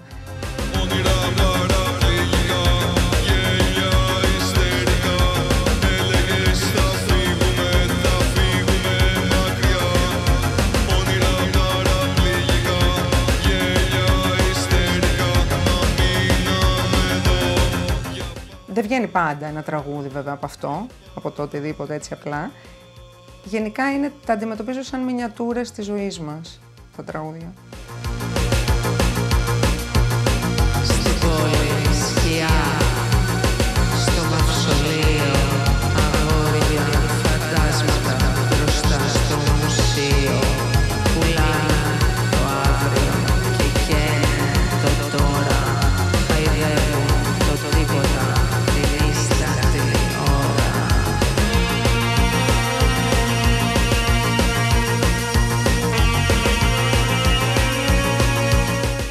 Παίζουμε όταν έχουμε να πούμε και να δείξουμε κάτι καινούριο, μόνο τότε. Γιατί απλά χάνει τη δυναμική του ένα τραγούδι, αν το μ, επαναλάβω πάρα πολλές φορές. Δεν το νιώθω εγώ η ίδια. Οπότε δεν υπάρχει λόγος. Ως τώρα κάνουμε μόνο ένα live το χρόνο στην Αθήνα και θέλουμε πάντα, καταβάλουμε προσπάθεια να είναι κάτι το διαφορετικό και το ενδιαφέρον, να μην υπάρχει επανάληψη, γιατί και εσύ θα με βαρεθείς και εγώ θα βαρεθώ τον εαυτό μου.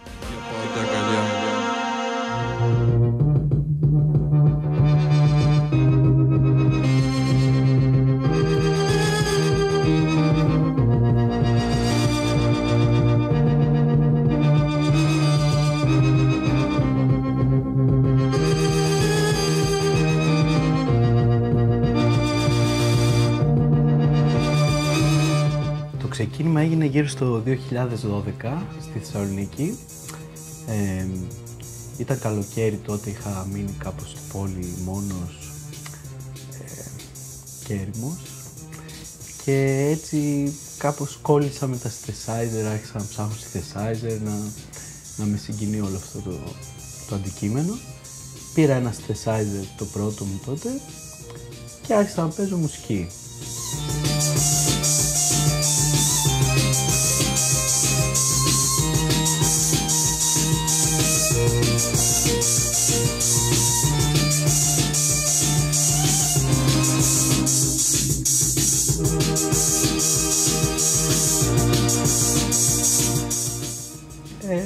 Σιγά σιγά βρήκα ένα φίλο μου από τα παλιά που παίζαμε λίγο, είχαμε δοκιμάσει κάποια πράγματα, το Χρήστο, που έγινε έτσι το δεύτερο μέλος. Ε, και αρχίσαμε να πειραματιζόμαστε χαλαρά. Μετά αυτός έφυγε κάποια στιγμή, πάλι έμεινα μόνος, έφυγε η Βαρκελόνη. Και μετά γνώρισα την Αγνή από μια αγγελία σχεδόν. Δηλαδή η ίδια είπε ότι ενδιαφέρεται σε μια φίλη της και γνωριστήκαμε έτσι. Και αρχίζαμε με την Αγνή πάλι λίγο να παίζουμε χωρίς να ξέρουμε και τι κάνουμε. Ποτέ δεν μάθαμε τι κάνουμε.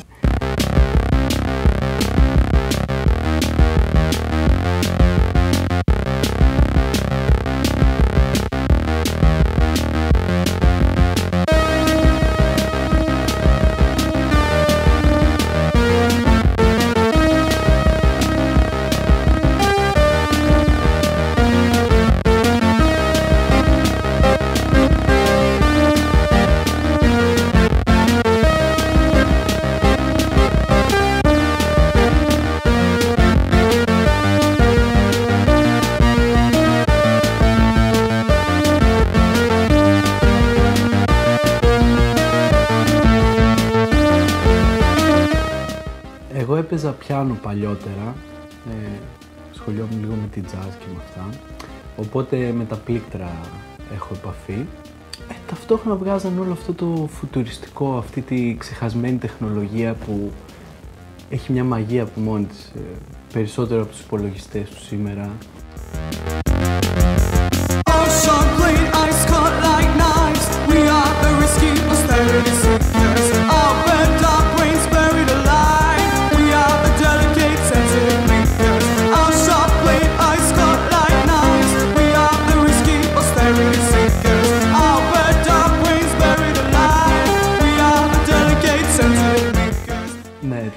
είναι μια, μια λέξη γερμανική, τεράστια, κακόηχη και θυμίζει και λίγο ρομπότ.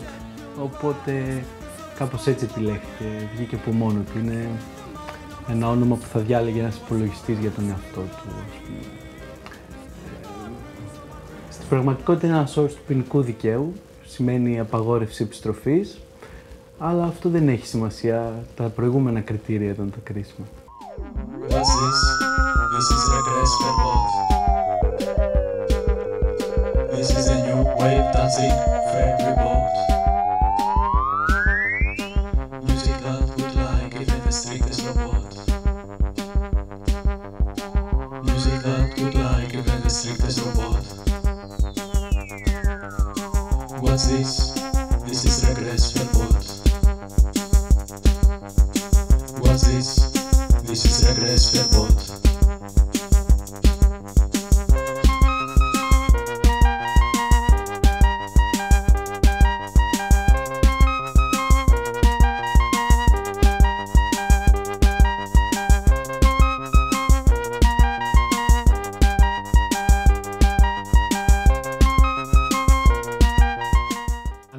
Σαν ήχος, αυτό το οποίο μου αρέσει και μπορώ να εκφράζομαι περισσότερο και μπορώ να χειρίζομαι καλύτερα, έχει να κάνει με τα αναλογικά. Χωρίς αυτό να σημαίνει ότι ε, η ψηφιακή τεχνολογία δεν είναι καλή, ότι ε, δεν μπορείς να κάνεις ε, το ίδιο πράγμα.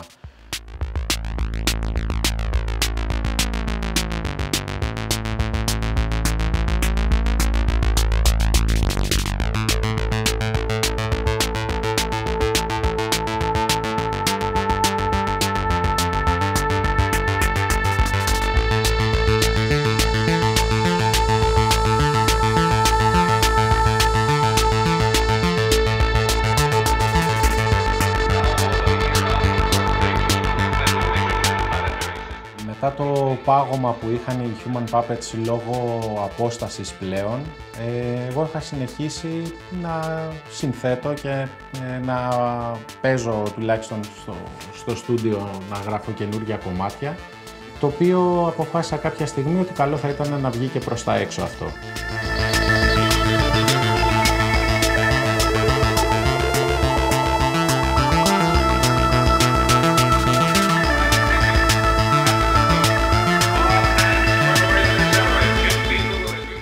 Κάπως έτσι δημιουργήθηκε αυτή η περσόνα, ας το πούμε, που λέγεται Dory.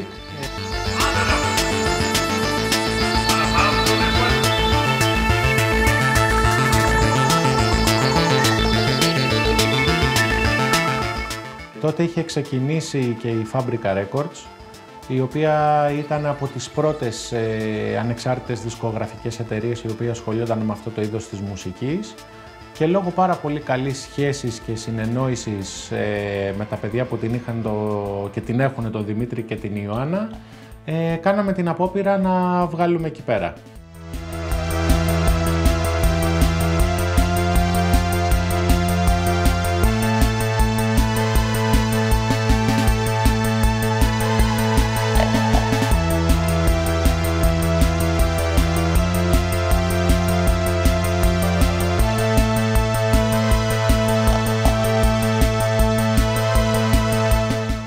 Βαλίσια τη γνώρισα όταν και εκείνη είχε το δικό της συγκρότημα τους ε, Phoenix Cat Scratch και αυτό που με κόλλησε πάρα πολύ ήταν στα DJ set της, σε διάφορα μαγαζιά, ήταν η μουσική την οποία έπαιζε, η οποία ήταν πολύ περίεργο να βρεις μία άλλη περσόνα η οποία να σου ταιριάζει τόσο απόλυτα μουσικά.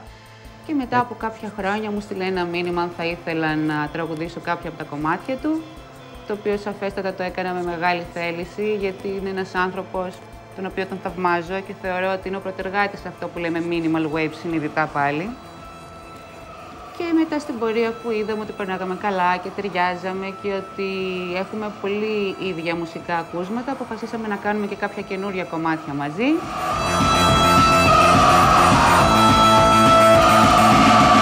Το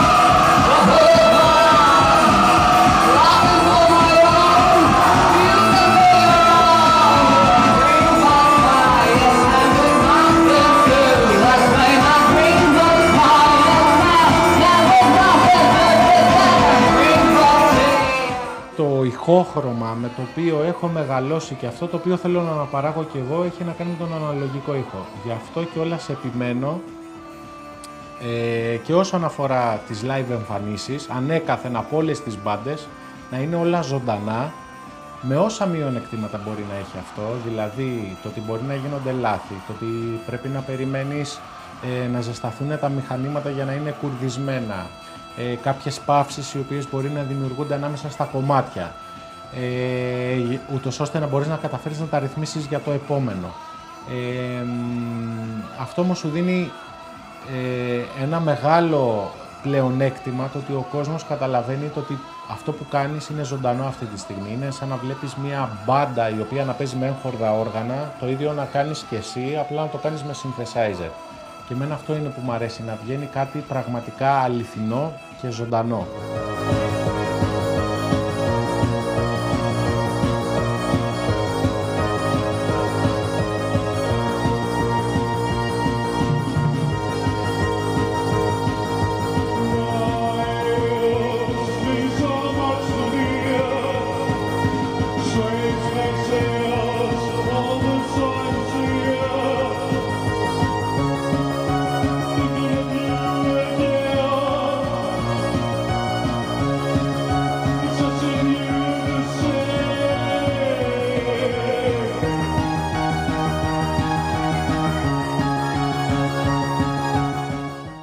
Από εκεί και πέρα το ηχόχρωμα, η ζεστασιά την οποία βγάζει και ίσως και η έκπληξη το ότι κάθε φορά που μπορεί να ανοίγεις ένα σύνθη να μην σου βγαίνει ακριβώς το ίδιο, νομίζω ότι είναι η ομορφιά αυτού του ήχου.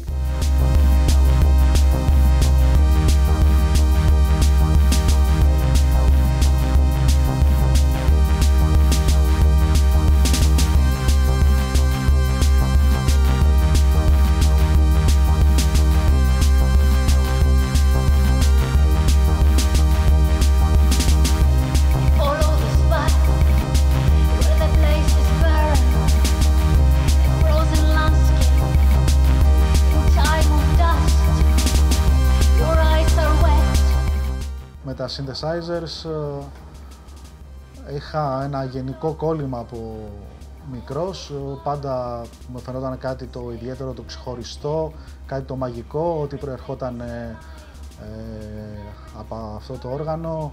Συνθέτες όπως Ζαν Μισελ Ζάρο, Βαγγέλης Παπαθανασίου πάντα με προκαλούσαν ε, ιδιαίτερη εντύπωση και ενθουσιασμό όταν άκουγα τις μουσικές ε, από τα 70s ε, μπάντες όπως η Tangerine Dream. Νομίζω ότι ήταν το πλέον βασικό συστατικό σαν όργανο για τον ήχο της ε, μπάντας.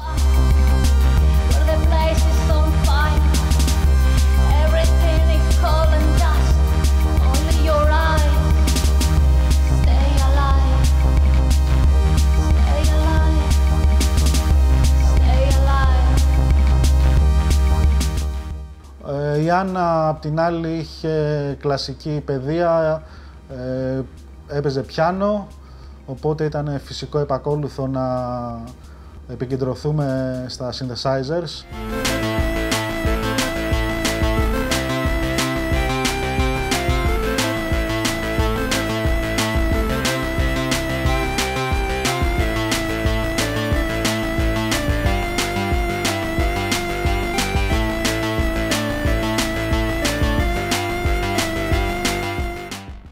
Επαφή με τη μουσική ήταν στα 5 έτη, όπου ε, στον Υπηαγωγείο είχε έρθει μια καλλιτεχνική επιτροπή όπου διάλεγαν παιδιά για να αναδείξουν τα ταλέντα τους ε, και έτσι διάλεξαν εμένα τότε ε, ως ένα παιδί που έχει μια κλίση προς τη μουσική και ξεκίνησα να παίζω πιάνο, ε, το οποίο συνεχίστηκε μετά για αρκετά χρόνια. Ε, Ήμουνα σχεδόν ένα χρόνο πριν το πτυχίο, όπου τελικά όλη αυτή η παροχημένη ιδέα στα δημοτικά οδεία με οδήγησε στο να ε, νιώσω ότι δεν θέλω να συνεχίσω σε αυτό το παροχημένο στερεότυπο που επικρατούσε τότε. Έφυγα για σπουδές ε, και μετά από χρόνια συναντήθηκα με τον Κώστα όπου ανταλλάξαμε κάποιες απόψεις σχετικά με τη μουσική, μου είπε ότι γράφει και σιγά σιγά αναπτύχθηκε η ιδέα το να συνεργαστούμε και να κάνουμε κάτι μαζί, ο καθένας να ενώσει τις επιρροές του και να δημιουργηθεί έτσι ένα σχήμα.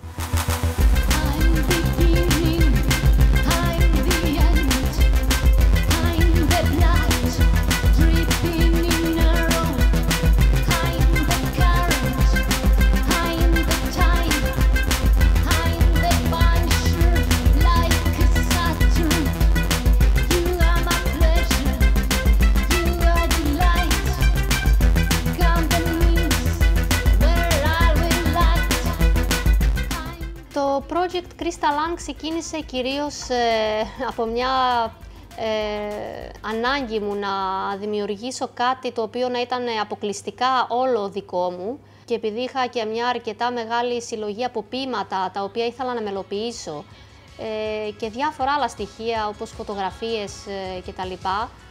Ε, οπότε ξεκίνησε κάπως έτσι. Ήταν περισσότερο για δική μου ευχαρίστηση το project αυτό, χωρίς να έχω στο μυαλό μου ε, κάποια άλλα πράγματα ο- ή πώς θα μπορούσε να εξελιχθεί τέλος πάντων.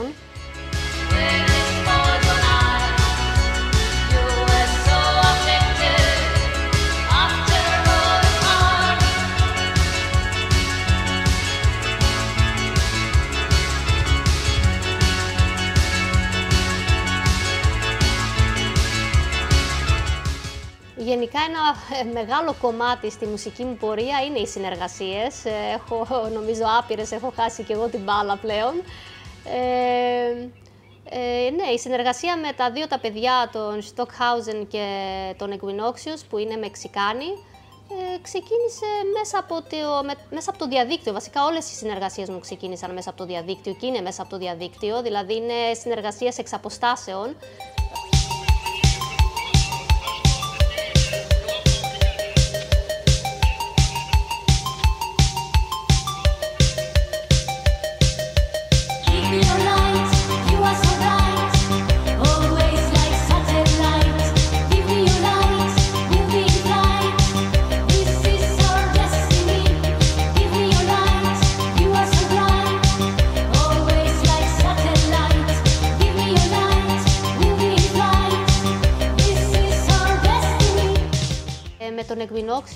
Γνωριζόμαστε αρκετά χρόνια μέσω διαδικτύου, όπου ένας υποστηρίζει τη μουσική του άλλου ε, και πάντα μ, σκεφτόμασταν ότι θα θέλαμε να κάνουμε, μέσα από τη συνομιλία που είχαμε, ότι θα θέλαμε να κάνουμε κάποια κομμάτια μαζί, όπου και όταν ήταν να βγάλει το πρώτο του δίσκο, ε, μου είχε στείλει το κοσμοδρόμο για να κάνω φωνητικά.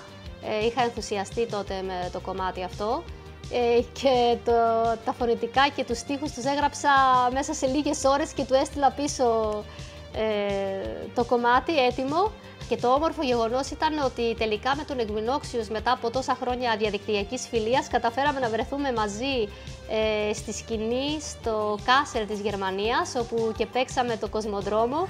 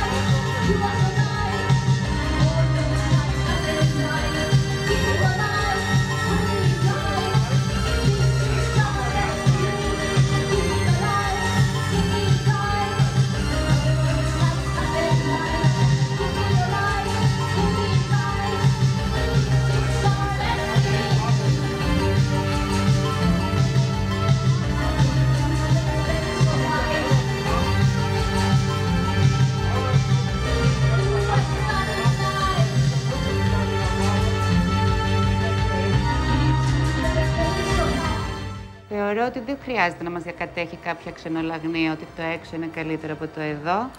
Ε, νομίζω ότι η ελληνική σκηνή, η συγκεκριμένη ελληνική σκηνή δεν υπολείπεται σε τίποτα συγκριτικά με την σκηνή του εξωτερικού. Γιατί με την ίδια λογική, προσωπικά θα μπορούσα να πω, αν μπορούν οι μπάντες του εξωτερικού να σταθούν επάξια στις μπάντες της ελληνικής σκηνής.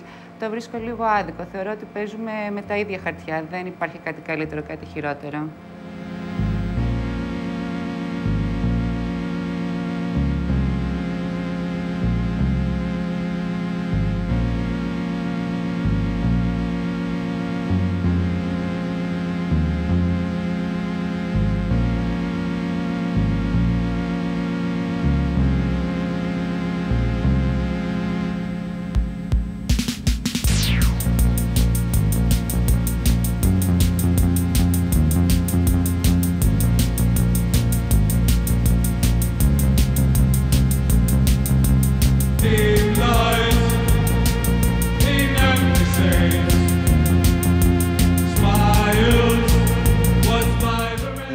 My Οι convex model ξεκίνησαν κλασικά σε ένα δωμάτιο, χωρίς να έχουν καμία βλέψη όλο αυτό το πράγμα να πάει προς τα έξω.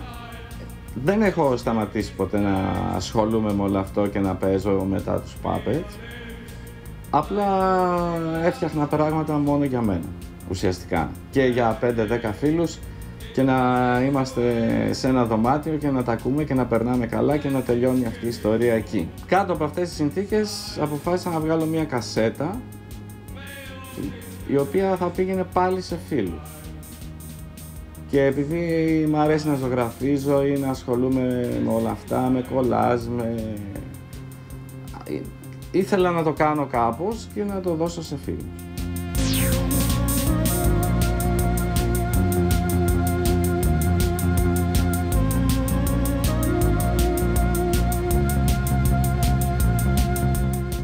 Στη πορεία προέκυψε μία άλλη ιδέα που πάντα την ήθελα.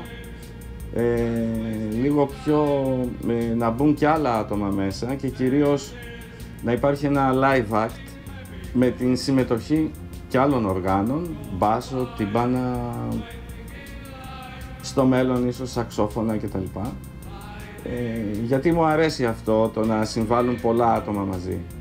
Και έτσι γεννήθηκαν και οι Convex Model ε, σε, σε αυτή τη μορφή, που είναι full band και είναι κάτι που ήθελα από πάντα να το κάνω.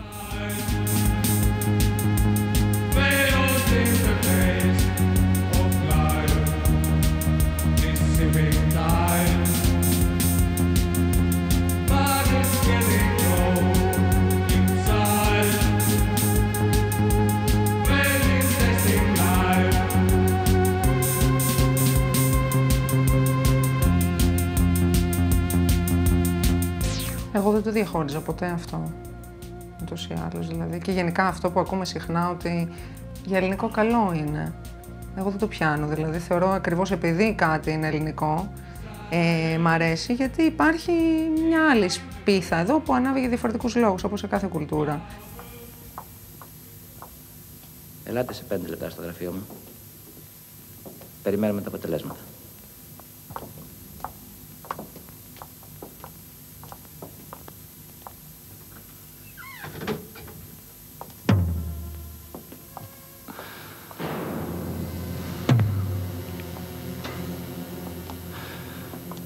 Γεννήθηκα σε αυτή την πόλη. Μεγάλωνα και γύρω μου μεγάλωναν χιλιάδες άλλα παιδιά, σαν και εμένα.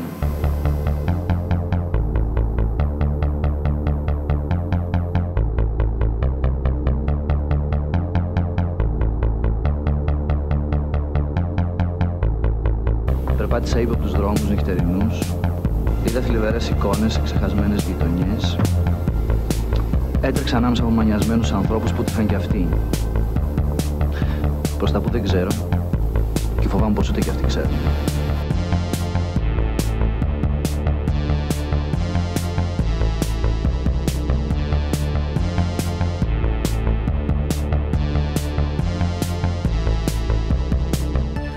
Γενικά είμαι φαν των ταινιών ε, του 80s, ας πούμε, του ελληνικού κινηματογράφου. Βρίσκω ότι υπάρχουν πολλά σκοτεινά σημεία, ας πούμε, πολλές ταινίες, ας πούμε, είναι σαν ε, να είσαι σαν ένα υπόγειο και να τις βλέπεις. Και η συγκεκριμένη ταινία το έχει αυτό πάρα πολύ. Το συγκεκριμένο απόσπασμα είναι φοβερό. Ο μονόλογος του Μόσχου είναι πάρα πολύ ωραίος. Ήθελα να τον ντύσω ηχητικά, να το πω και έτσι. Και πέρα από αυτό ήταν ότι... Πώς να το πω... Ε, το concept του blackout γενικότερα είναι αυτά που λέει ο Μόσχος σε αυτόν τον ε, μονόλογο. Η πόλη, οι δρόμοι, η Αθήνα, η Βρώμα, αυτά τα πράγματα της Αθήνας που μου αρέσουν πάρα πολύ. Άμα κάνουμε πίσω τώρα είναι σαν να κάνουμε πίσω σε όλη μας τη ζωή.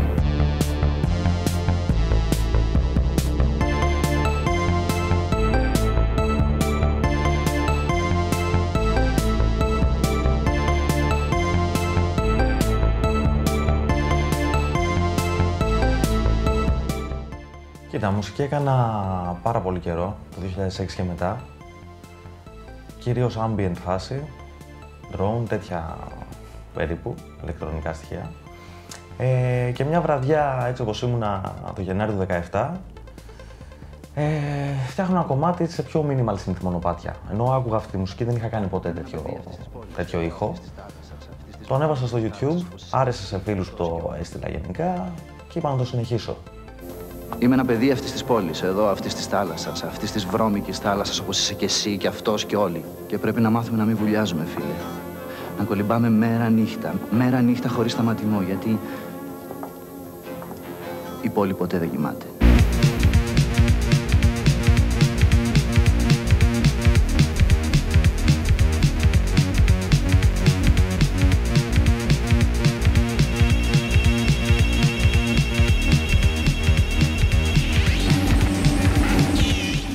Πολύ ωραίο live που πολύ χάρηκα που έγινε γιατί έγινε και την κατάλληλη στιγμή ήταν η συναυλία των Οδός 55. Που ήταν ε, μια εποχή που ο Οδός 55 είχαν κυκλοφορήσει ένα εξαιρετικό άλμπουμ που νομίζω ότι συγκαταλέγεται στα 4-5 καλύτερα minimal synth album ας πούμε, όλων των εποχών από την ελληνική σκηνή. Μουσικά ας πούμε και αισθητικά τους θεωρώ σαν εντάξει, δεν- να μην πω τα παιδιά, αλλά παιδιά μας. Να τους πω σαν τα μικρά αδέλφια μας ας πούμε. Δηλαδή, ε, ε, έχουν, δηλαδή πραγματικά νιώθω ότι είναι σαν ένα, ένα αυτό που κάνουν ότι θα μπορούσε να ήταν ένα κομμάτι αυτού που αν συνεχίζαμε εμείς να το κάνουμε δηλαδή, θα ήταν κάπως έτσι. ας πούμε.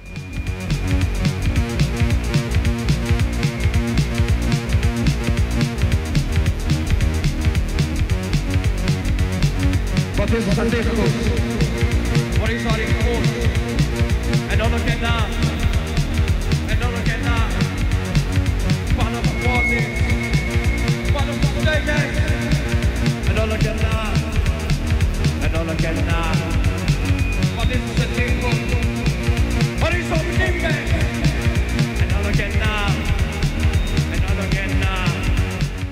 Δεν νομίζω ότι οι ξένες μπάντες διαφέρουν οι σημερινές από τις ελληνικές που παίζουν αυτό το είδος. Θεωρώ ότι είναι εισάξιες. Μπορεί να σταθεί πάρα πολύ άνετα, δηλαδή ειδικά από μπάντες ε, των 80s όπως χωρίς Περιδέρο και Αντί, ήταν φοβερές στην εποχή τους. Αλλά και καινούριε από το 2010 και μετά, όπως Οδός 55, Ray Cresverbot, που και μουσικά και στοιχουργικά και σαν ατμόσφαιρα είναι καταπληκτικές. Πιστεύω ότι έχουμε μια πάρα πολύ καλή σκηνή στην Ελλάδα. Μικρή βέβαια, ποσοτικά, αλλά ποιοτικά σε πάρα πολύ ψηλό επίπεδο.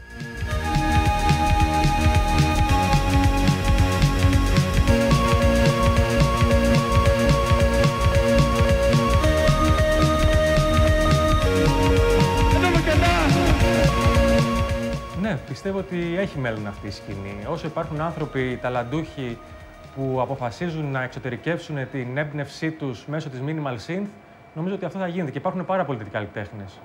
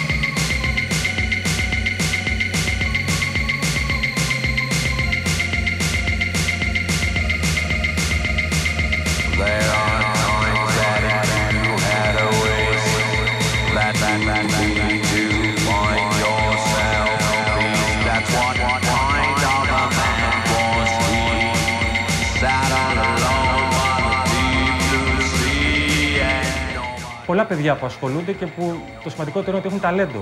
Δηλαδή δεν είναι ότι έχει αγκαλιαστεί αυτό το πράγμα από μια underground σκηνή που, οκ, δεν ξέρουμε μουσική, αλλά το κάνουμε. Το σημαντικό είναι ότι ασχολούνται με αυτή τη μουσική άνθρωποι ταλαντούχοι. Οπότε, ναι, πιστεύω ότι έχει μέλλον αυτή η σκηνή. Και πολλές φορές έχω ακούσει πράγματα τα οποία λέω μπράβο που βγαίνουν από εδώ, που υπάρχουν άνθρωποι που δημιουργούν.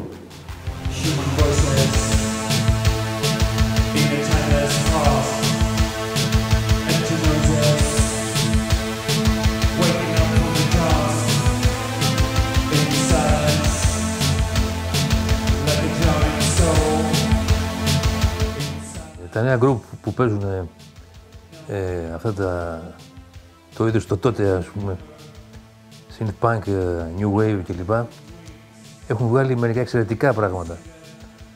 Μερικές φορές καλύτερα και από τα τότε. Πολλές μπάντες είναι πραγματικά εκπληκτικές.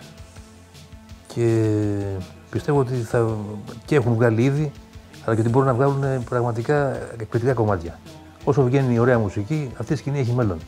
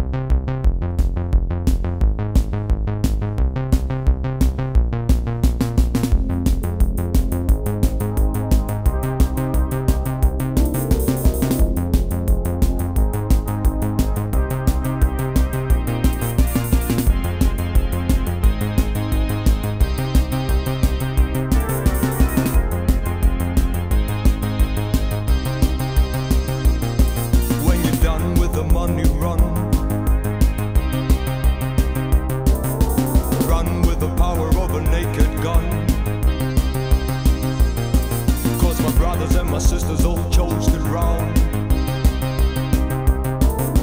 Fast as a smoker with a few.